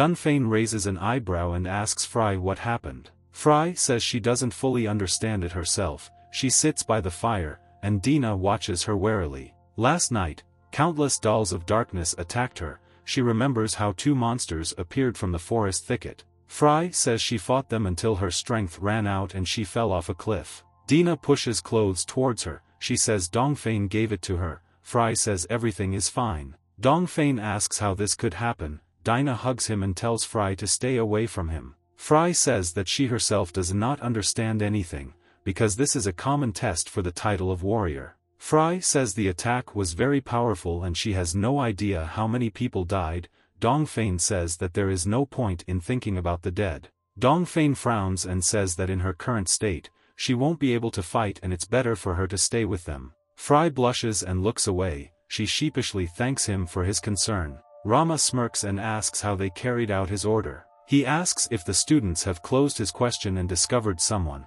the students respond that everything went well. They say they took a big risk and ask him not to forget his promise. Rama asks where Aija went, he looks around and tells them to go back to camp while he looks for him. A guy with a bald head and a band-aid on his forehead answers when his name is called Aija. Rama comes to him and asks if everything is done, the guy pushes off from the rock. Aija says everything is done, but he waited half a day, he asks why no one else came except Ram. Rama lazily closes one eye and tells him that they are most likely lost. Aija says that he wants to stop everything, because if it is revealed that they were hunting the best students, they will not be happy. He holds out a test tube with red liquid and says that he no longer needs any benefit. Rama comes to him and says that he understands everything, the guy hands him a test tube. Rama says that even if he leaves now, Frey's blood will remain on his hands. Aija asks why he is not ashamed to say such a thing, he says that Rama himself gave it to him and he did not know that he was capable of killing.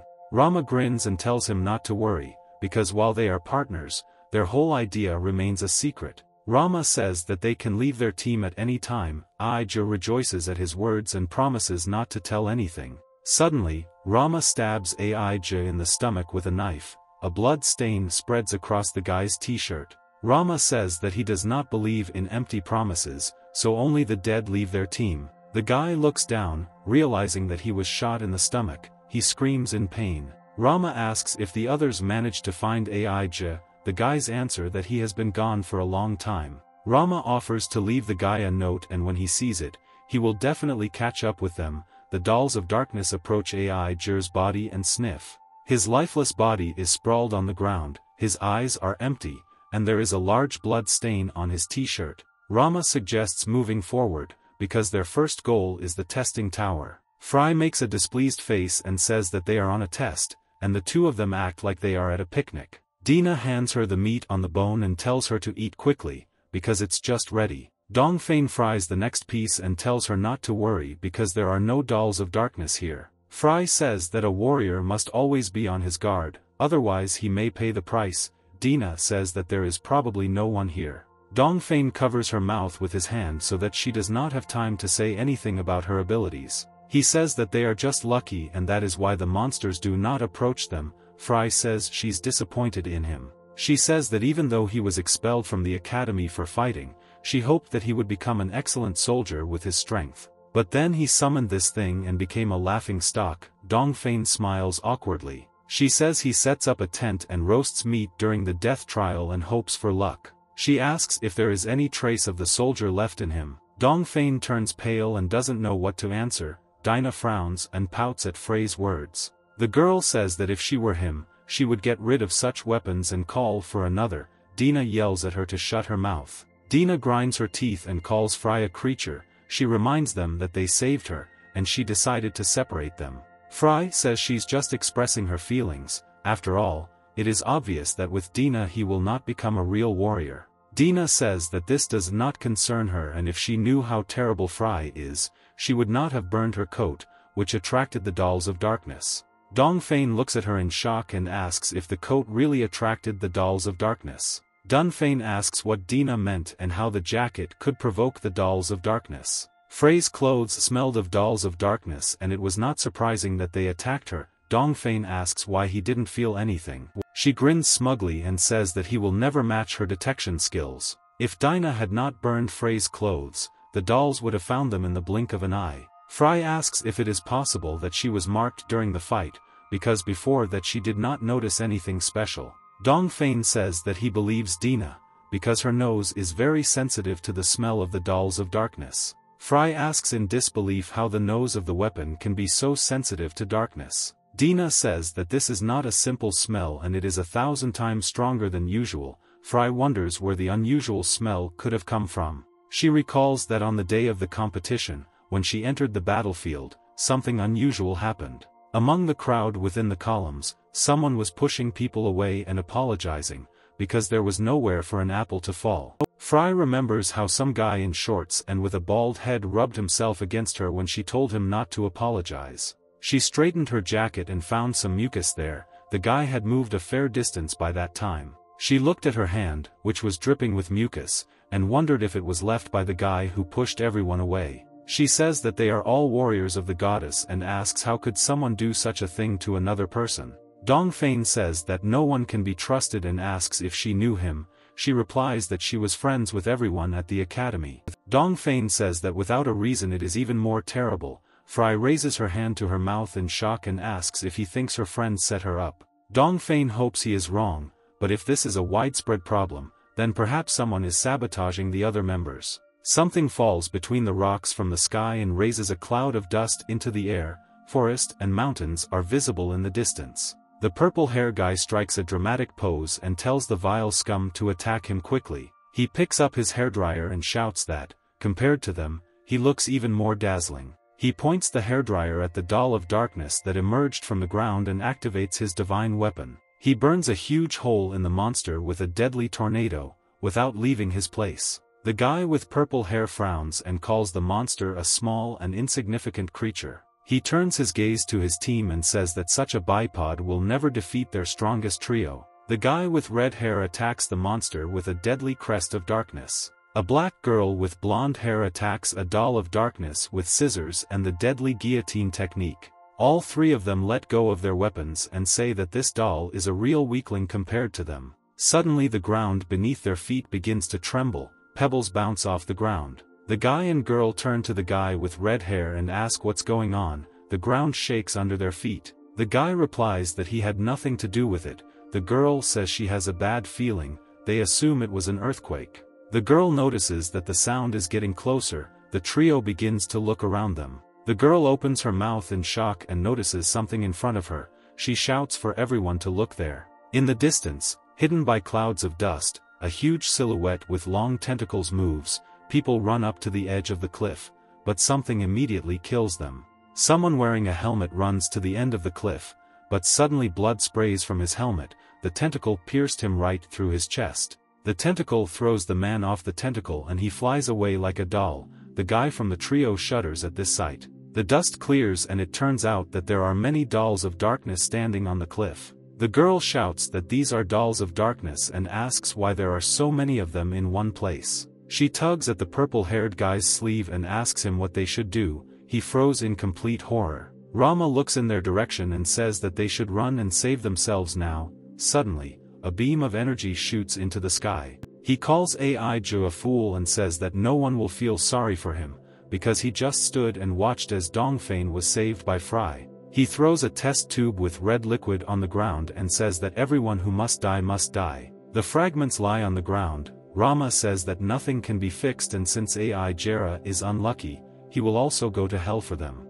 Fry examines the twig and suddenly stands up and hits Dongfeng on the head with it and says that they need to leave. Dongfeng says that they are in no hurry and continues to fry the meat over the fire. Fry asks why they are taking their time since her classmates could be in trouble, she asks if he is afraid. Dongfeng frowns and turns pale, realizing that he might actually be afraid. Fry takes the twig in both hands and remembers the words of his grandfather, who runs the academy. He said that being a warrior of the goddess, they must be brave, honest and destroy evil all the time. Dongfeng believes that Fry seems to be normal, but she is too obsessed with the old man. He turns and sees the old director in Frey's place. She asks if he is coming or not, Dongfeng replies that they don't know where to go, what they're up to and how to find them.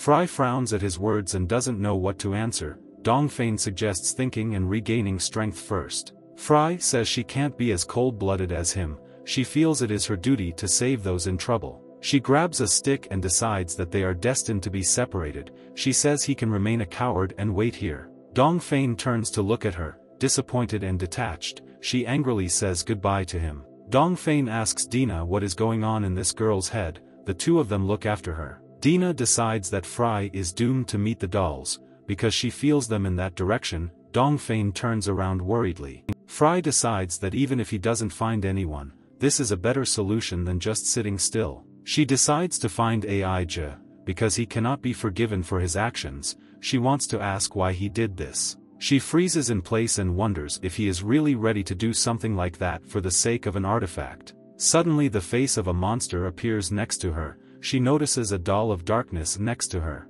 Suddenly someone covers her mouth with his hand, Dongfeng tells her to stand still and not move. He retreats behind a tree and orders her to remain silent, he looks out from behind the trunk at a huge spider-like monster with glowing eyes. Dongfeng says that he knows where to find a person similar in description and he will help her find him if she trusts him. The doll of darkness clumsily squeezes past the tree trunks, Dongfeng hugs Fry. The doll of darkness finally leaves and Dongfeng breathes a sigh of relief, Fry turns pale from lack of air. She turns around and asks if he really wants to strangle her, she realizes that he was following her. Dina crawls out of the bushes and says that it was her idea, Dongfeng says that if they follow the dolls, they will find the students. Fry frowns and says that tracking a flock of dark dolls is impossible without consequences. Dongfeng says that if she wants to save others, she needs to try different ways. He extends his hand to her as a sign of truce, Fry frowns and agrees with him unhappily. Dongfeng says he wants to punish the freak who is turning a deadly competition into a battle royale.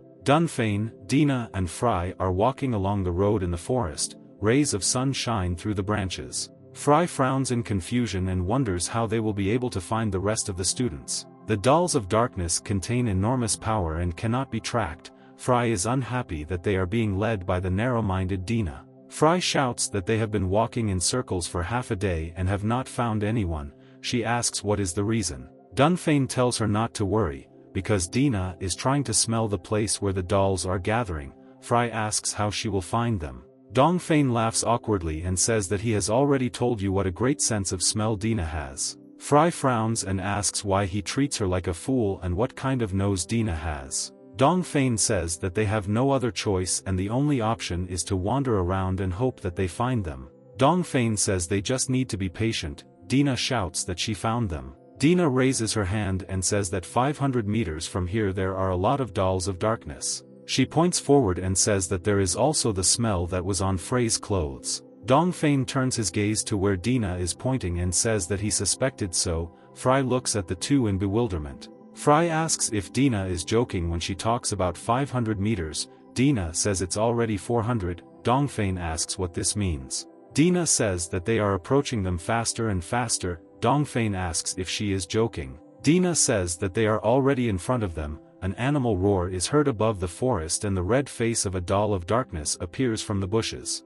Dongfeng is in shock and disbelief, Dina frowns, and Fry looks straight ahead in confusion. The guy with purple hair uses his weapon on the doll and shouts that it's time for them to run away. The guy falls head over heels to the ground after the monster, raising dust into the air. The guy with purple hair stands up on trembling arms and asks who is next to him. He recognizes Dongfeng and Fry and sits down on the ground, the guy asks what they are doing here, other students flee from the forest, pursued by dolls of darkness. Fry recognizes Shirley and the others, Dongfeng sees a whole crowd of dolls running after them. Countless monsters appear from the forest, Dongfeng shouts that it is time to run away, he asks why Dina didn't say that there are so many of them. Dongfeng is carried on his back by Fry, Dina says she would have told him, but he didn't ask her. Dina sniffs and notices that all the students have the same smell on their clothes. The guy with purple hair asks Fry why she is in their company,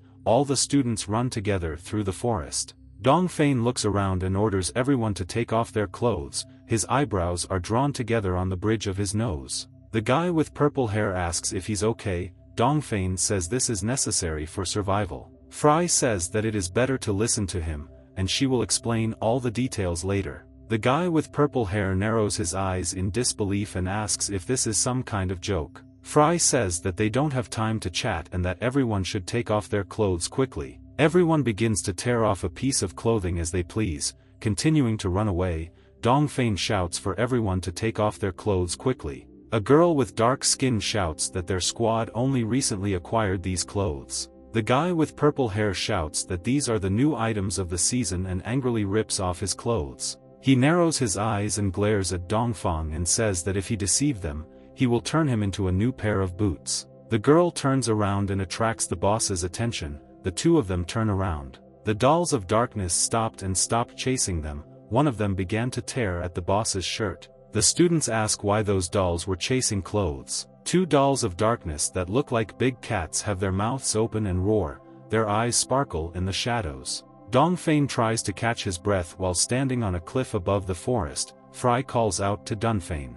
She turns to him and sincerely thanks him for saving all the students. Dongfeng is glad that they managed to escape, but it is not safe here and they need to figure out where to go next. The dolls are still roaming around, students rest after a long marathon of running from monsters. The guys had absolutely no strength left, Dongfeng is not happy that so many problems have fallen on his head. Fry says that the squad of Shirley, Da and Tu Fan is the strongest of all the students. If the strongest are taken out of the game, then it will be easier for the remaining participants to win. The students sit on a stone mountain and relax, some kind of monster is watching them. Anyone who uses dark dolls to win is not worthy of the title of goddess warrior. Dina looks at the students and says that they are already boring her with their boring speeches. She asks Dongfeng why they should worry about everyone. Dongfeng replies that in such a situation it is impossible not to participate. Dina is stubborn and says that she will not take care of anyone except Dongfeng. Fry asks if everything is clear to everyone, she looks around anxiously at the forest below. The students do not understand how someone can control the dolls and they cannot believe it. Fry says that she didn't believe it at first either, but Dongfeng suspects that someone is deliberately causing problems for them. The guys don't understand why they should trust Dongfeng, the guy with red hair says it might be true. The guy with purple hair is furious and asks why anyone would get rid of it. The dark-skinned girl says it's most likely due to the Evangelion stone. Fry says that he and Dongfeng think so too, she looks away thoughtfully. The guy with the shaved head asks Fry why Dengfana would want to help them. He says that Dongfeng may want to ingratiate himself or gain favor with the phrase. Dina stood over the guy and called him an idiot, he throws his head back and asks what she's talking about. Dina frowns and says that Dongfeng obviously just saved them out of the goodness of his heart. She shouts that they didn't even thank him, but they are already sitting and slandering him, the guy recoils from her. The guy brings his face closer to her and says that she is just a useless divine weapon that Dongfeng is summoned. The guy activates the seal and says that she is not a person and she is far from that title. Almost as far away as being a divine weapon, Dina frowns at his words. The guy begins to summon his divine weapon and says that now she will receive a demonstration of real power for her insolence. The students turn around and see the skinhead summoning his divine weapon, there is bewilderment on their faces. He summons an axe and shouts that a divine weapon should look like this, and it looks more like a joke than something worthwhile. The guy grins and asks if she knows how to fight or protect her summoner in real combat. He says that trash like Dongfeng is trash and shines, he says the guy will always be trash, Dina's eyes begin to glow. The clouds above them turn into a funnel, she screams at him to shut up. Dina got angry and raised her hand, the skinhead holds his weapon in his hand and looks at her with confusion.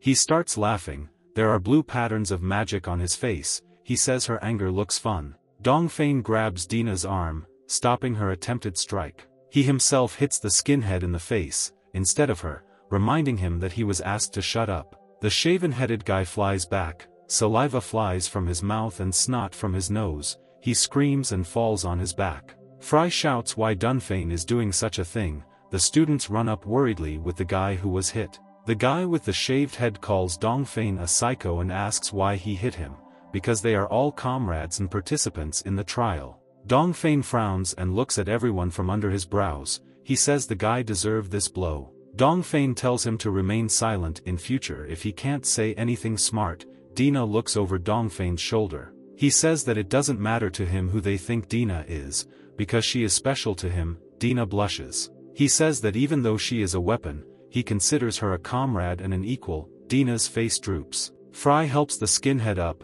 Dongfeng tells him to watch his language if life is precious. The guy with purple hair and the girl with dark skin look at Dongfeng warily and realize that he is not a weakling at all. The skinhead wipes his mouth with the back of his hand and smiles, he says that one day Dongfeng will get his. He shouts that he will take revenge on him for this blow, Dongfeng says that he will wait impatiently and turns away. Dongfeng says they'd better worry about uninvited guests now. He looks down from the cliff and clenches his fists, the students become wary and ask what guests he is talking about. The skinhead pushes Fry away from him and gets to his feet with an angry expression on his face. The guy walks to the edge and tells Dongfeng to stop talking, because there is actually nothing dangerous there. He notices a whole crowd of dolls of darkness below and realizes that they are all moving in their direction. The skinhead swallows nervously and looks down with horror on his face, he doesn't know what to say. Dongfeng says to thank that idiot for the noise he made here earlier. A guy with purple hair and a dark-skinned girl approach the skinhead, they look over the cliff. The boss screams and calls the shaven-headed guy a thick-headed idiot, the girl shudders when she sees the monsters below. The girl grabs the guy by the nipples and shouts that if he himself wanted to die, then there is no point in dragging others along with him, the guy mutters that he didn't do it on purpose. The girl pulls his nipples and screams that they are dead and all thanks to an idiot who cannot control himself. The guy with purple hair turns pale and looks into the distance with disappointment, he mutters that he will die a virgin. The guy with red hair says that in their current state, they won't be able to defeat such a crowd. He says they don't have the strength to fight or run away. Fry looks away, trying to figure out what to do. Dongfeng says he has an idea, he says this quietly, but everyone immediately becomes wary. The students turn to him and ask him what his idea is and what they can do. Dongfeng looks down at the monsters, he says he appreciated the speed of their movement.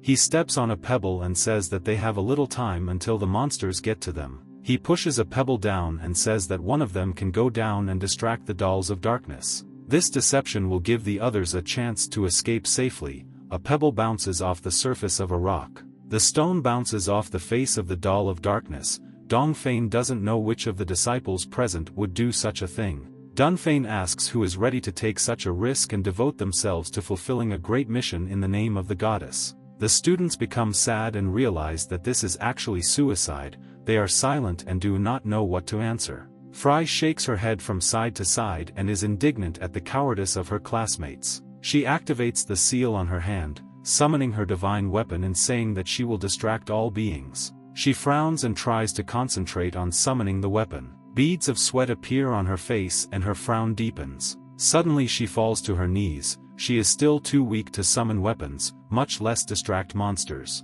Fry trembles and curses to himself, she lowered her head in disappointment, Dongfeng says she shouldn't go. Dongfeng says that in her current state, going down to the monsters is absolutely useless. Fry says that everything is fine and she can hold out until everyone escapes, she says she will go down to the dolls. Dongfeng looks at her with doubt and excitement, Dina shouts that let her go down and they will run away. Dongfeng calls Fry stupid and says that he will go down himself and distract the monsters to himself. Dina's eyes widen in surprise, she asks what Dongfeng just said. She screams that he shouldn't even think about such things. Fry frowns and looks at Dongfeng. The director is told that a suspiciously large number of students died this time, the director presses his finger against the scanner. The guard asks what they should do if this continues, the director tells them to do whatever is necessary. Two figures stand next to a blue ball, they are wearing red clothes, they greet the director. The director wonders what the church community is doing here. People from the community say that there are too many deaths in the test and the movement of the dark dolls is very strange.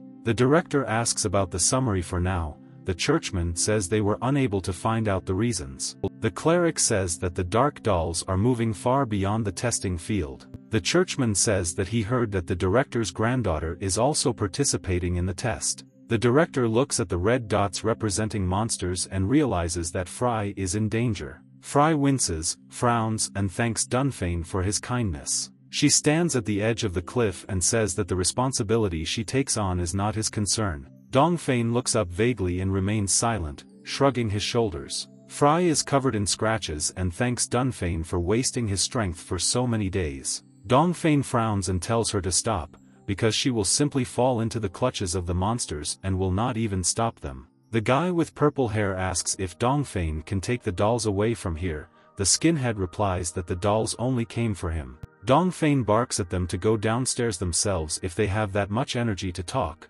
the guys turn away and clear their throats. Dongfeng says his plan is that he will go down and they will take Dina with them and run away, Dina clings to him and refuses. The purple hair guy asks if they should run away without him, the dark woman asks if he is sure he wants to go downstairs. Dong Feng says that he is not doing this for their sake and asks him to take care of Dina, Dina looks around anxiously and says that she doesn't want to leave without him. She starts crying and screams that she doesn't want to leave him and says that they can run away on their own, leaving the losers behind. Fry frowns and opens his mouth to say something, but remains silent, she looks at Dongfeng knowingly. The guy stands at the edge of the cliff and tells them to take care of Dina, Fry holds Dina close to him. He smiles, giving them a parting glance, his face is backlit by the setting sun. Dong Feng walks closer to the cliff and looks down at the dense vegetation at the base of the mountain. A terrible and loud roar of the dolls of darkness is heard under the mountain, they are all approaching the mountain on which the heroes stand. Dina arches her back and screams for Dongfeng not to leave her, Fry holds the girl and frowns. Dongfeng jumps down and shouts that he is counting on Fry to fulfill his request. Dongfeng lands next to the darkness doll, there is determination in his eyes, he fearlessly looks at the mouth full of sharp teeth in front of him. He grits his teeth and starts the game, he runs past the dolls of darkness and runs into the forest, the monsters look after him. Dina shouts that she wants to go to Dangfana so that she can be released to him, Fry screams for Dina to calm down. Fry says that he is holding her so that she does not go to certain death, Dina sobs and looks down. The guy with purple hair says that Dongfeng is already a corpse anyway and his weapon will disappear immediately after his death. Fry has difficulty keeping Dina from running after her master. Dina cries and asks if Dongfeng will really die, Fry tells everyone to shut up. The guy with purple hair says that when a warrior dies, so does his summoned weapon. The guy says he's sorry, Fry tells him to express his regrets later. Dina starts crying again and says that Dongfeng cannot die. Dina clenches her teeth and begins to lose consciousness, the name Dongfeng is all she can think of in her head. Dina begins to lose consciousness, Fry screams, unable to hold her, a golden seal appears in Dina's eyes. Dina's hair turns from pink to wheat, Dina starts screaming herself. She is consumed by a golden stream of energy that envelopes her entire body,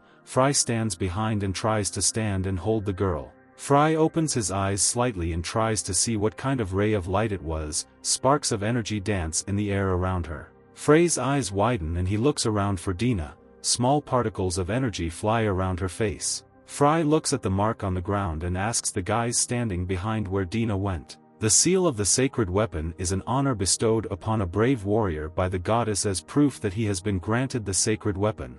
A girl with white hair turns the page, she was interested in the honor bestowed by the goddess. The Evangelion stone contains divine magical power and resonates with divine weapons. The girl laughs and blushes, she says that the book contains a bunch of lies about the stone. The girl turns the page and is surprised how many fantasies fit on the pages of this book. The old lady asks if the girl is going to enroll in the Divine Weapon Academy. The old woman wishes her luck and asks her to deal with all the dark dolls, they reach the southern capital. The bus slows down and you can hear the wheels squeaking, the driver announces that they have arrived at the final destination. Someone coughs politely, attracting the girl's attention, she turns her violet eyes to the man. A man with a mustache and a cap coughs and tells the girl that they have arrived at the final station.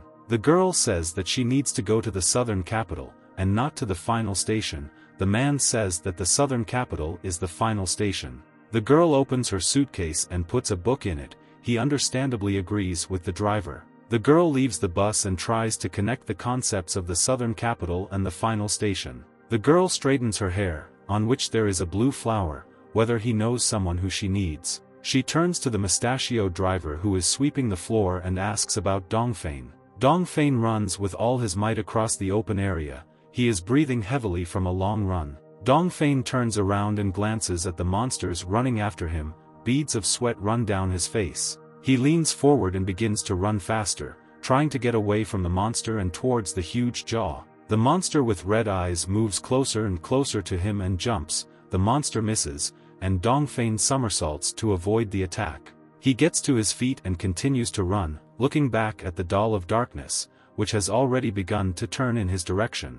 Dongfeng breathes tiredly, he turns around and sees tentacles appearing above the trees. The green tentacles attack and try to crush Dongfeng, but he jumps out of the way in time. Dongfeng deftly lands on his knee and pushes off the ground with his hand to run further, he looks back warily. The tentacles move towards him and attack Dongfeng again, missing and piercing the ground, sending dust into the air. Dong Feng is out of breath, frowning and looking ahead. He leaves the forest, in which rustling, roaring and crunching of branches can be heard due to the monsters that are chasing him. Dong Feng sees something in front of him, an object that will help him escape from danger. Dong Feng sees scraps of clothing in front of him, he decides to use them because of the smell, which is what the dolls of darkness came for. He decides to take the clothes from the monster who is messing with them. Then he wants to attract the attention of the other monsters and lead them further away from this place. Dong Feng laughs and runs on, hoping to carry out his plan. There are a lot of cuts on his face and sweat running down his cheeks. He approaches the doll of darkness, which holds torn clothes in its mouth. Dong Feng slides under the monster's mouth and pulls out the remnants of clothing from its teeth. Dong Feng runs quickly in the shadows of tall trees, flashing between the trunks. Suddenly something behind him catches his attention, he stops on his heels and tries to catch his breath. Dong Feng leans against a tree trunk and breathes heavily, he realizes that his strength is almost running out. Dong Feng glances behind him and hears stomping from there, he realizes that Fry and the others are already far enough away and the dark dolls are moving towards him. Dong Feng clutches the rag in his hand and inhales. He throws a rag into the face of the leaping monster, blinding it. The beast continues to run further, and the others begin to chase it. Dong Feng looks out from behind a tree and sees dolls of darkness rushing past, chasing a monster with clothes on its face. Dong Feng is happy that now he will be able to escape, a leaf from the tree above him falls at his feet. Dong Feng looks around and moves away from the tree. He looks into the sky and sees birds flying into the distance. Dong Feng looks around, hearing some rustling. Dong Feng opens his eyes in shock. He coughs and notices a sharp spike covered in blood in front of him, drops of blood fly into his face. Dong Feng is horrified to see that a giant thorn has pierced his chest from the back, a blood stain begins to spread across his jacket. The thorn enters back, locking itself more firmly into Dong Feng's body and causing him to feel dizzy. The vine, to which the thorn was attached, flies into the air, carrying the screaming Dong Feng with it. The guy bulges his eyes in pain, drops of blood come out of his mouth. Liana throws Dong Feng off her and hits him on the ground, knocking the air out of his lungs. Blood flows from Dong Feng's mouth, he understands that not all the dolls of darkness ran away after the rag. Looming over him is a terrifying muzzle, vaguely reminiscent of a smiling face, and surrounded by tentacles. The creature descends from the tree and looms over Dongfeng, who is lying on the ground. Dongfeng's hand is shaking, he sees the outlines of a divine seal appear on her. Fry frowns in concern and asks if Dongfeng might still be alive. The guy with purple hair says that he can't stand against so many dark dolls, but he is grateful to the guy for his dedication. The skinhead looks away and says that it doesn't matter whether he survived or not and invites everyone to set out on the road. Students walk in their underwear among the trees, the girl says they need to be honest. She frowns and says that they are only alive because of Dunfana.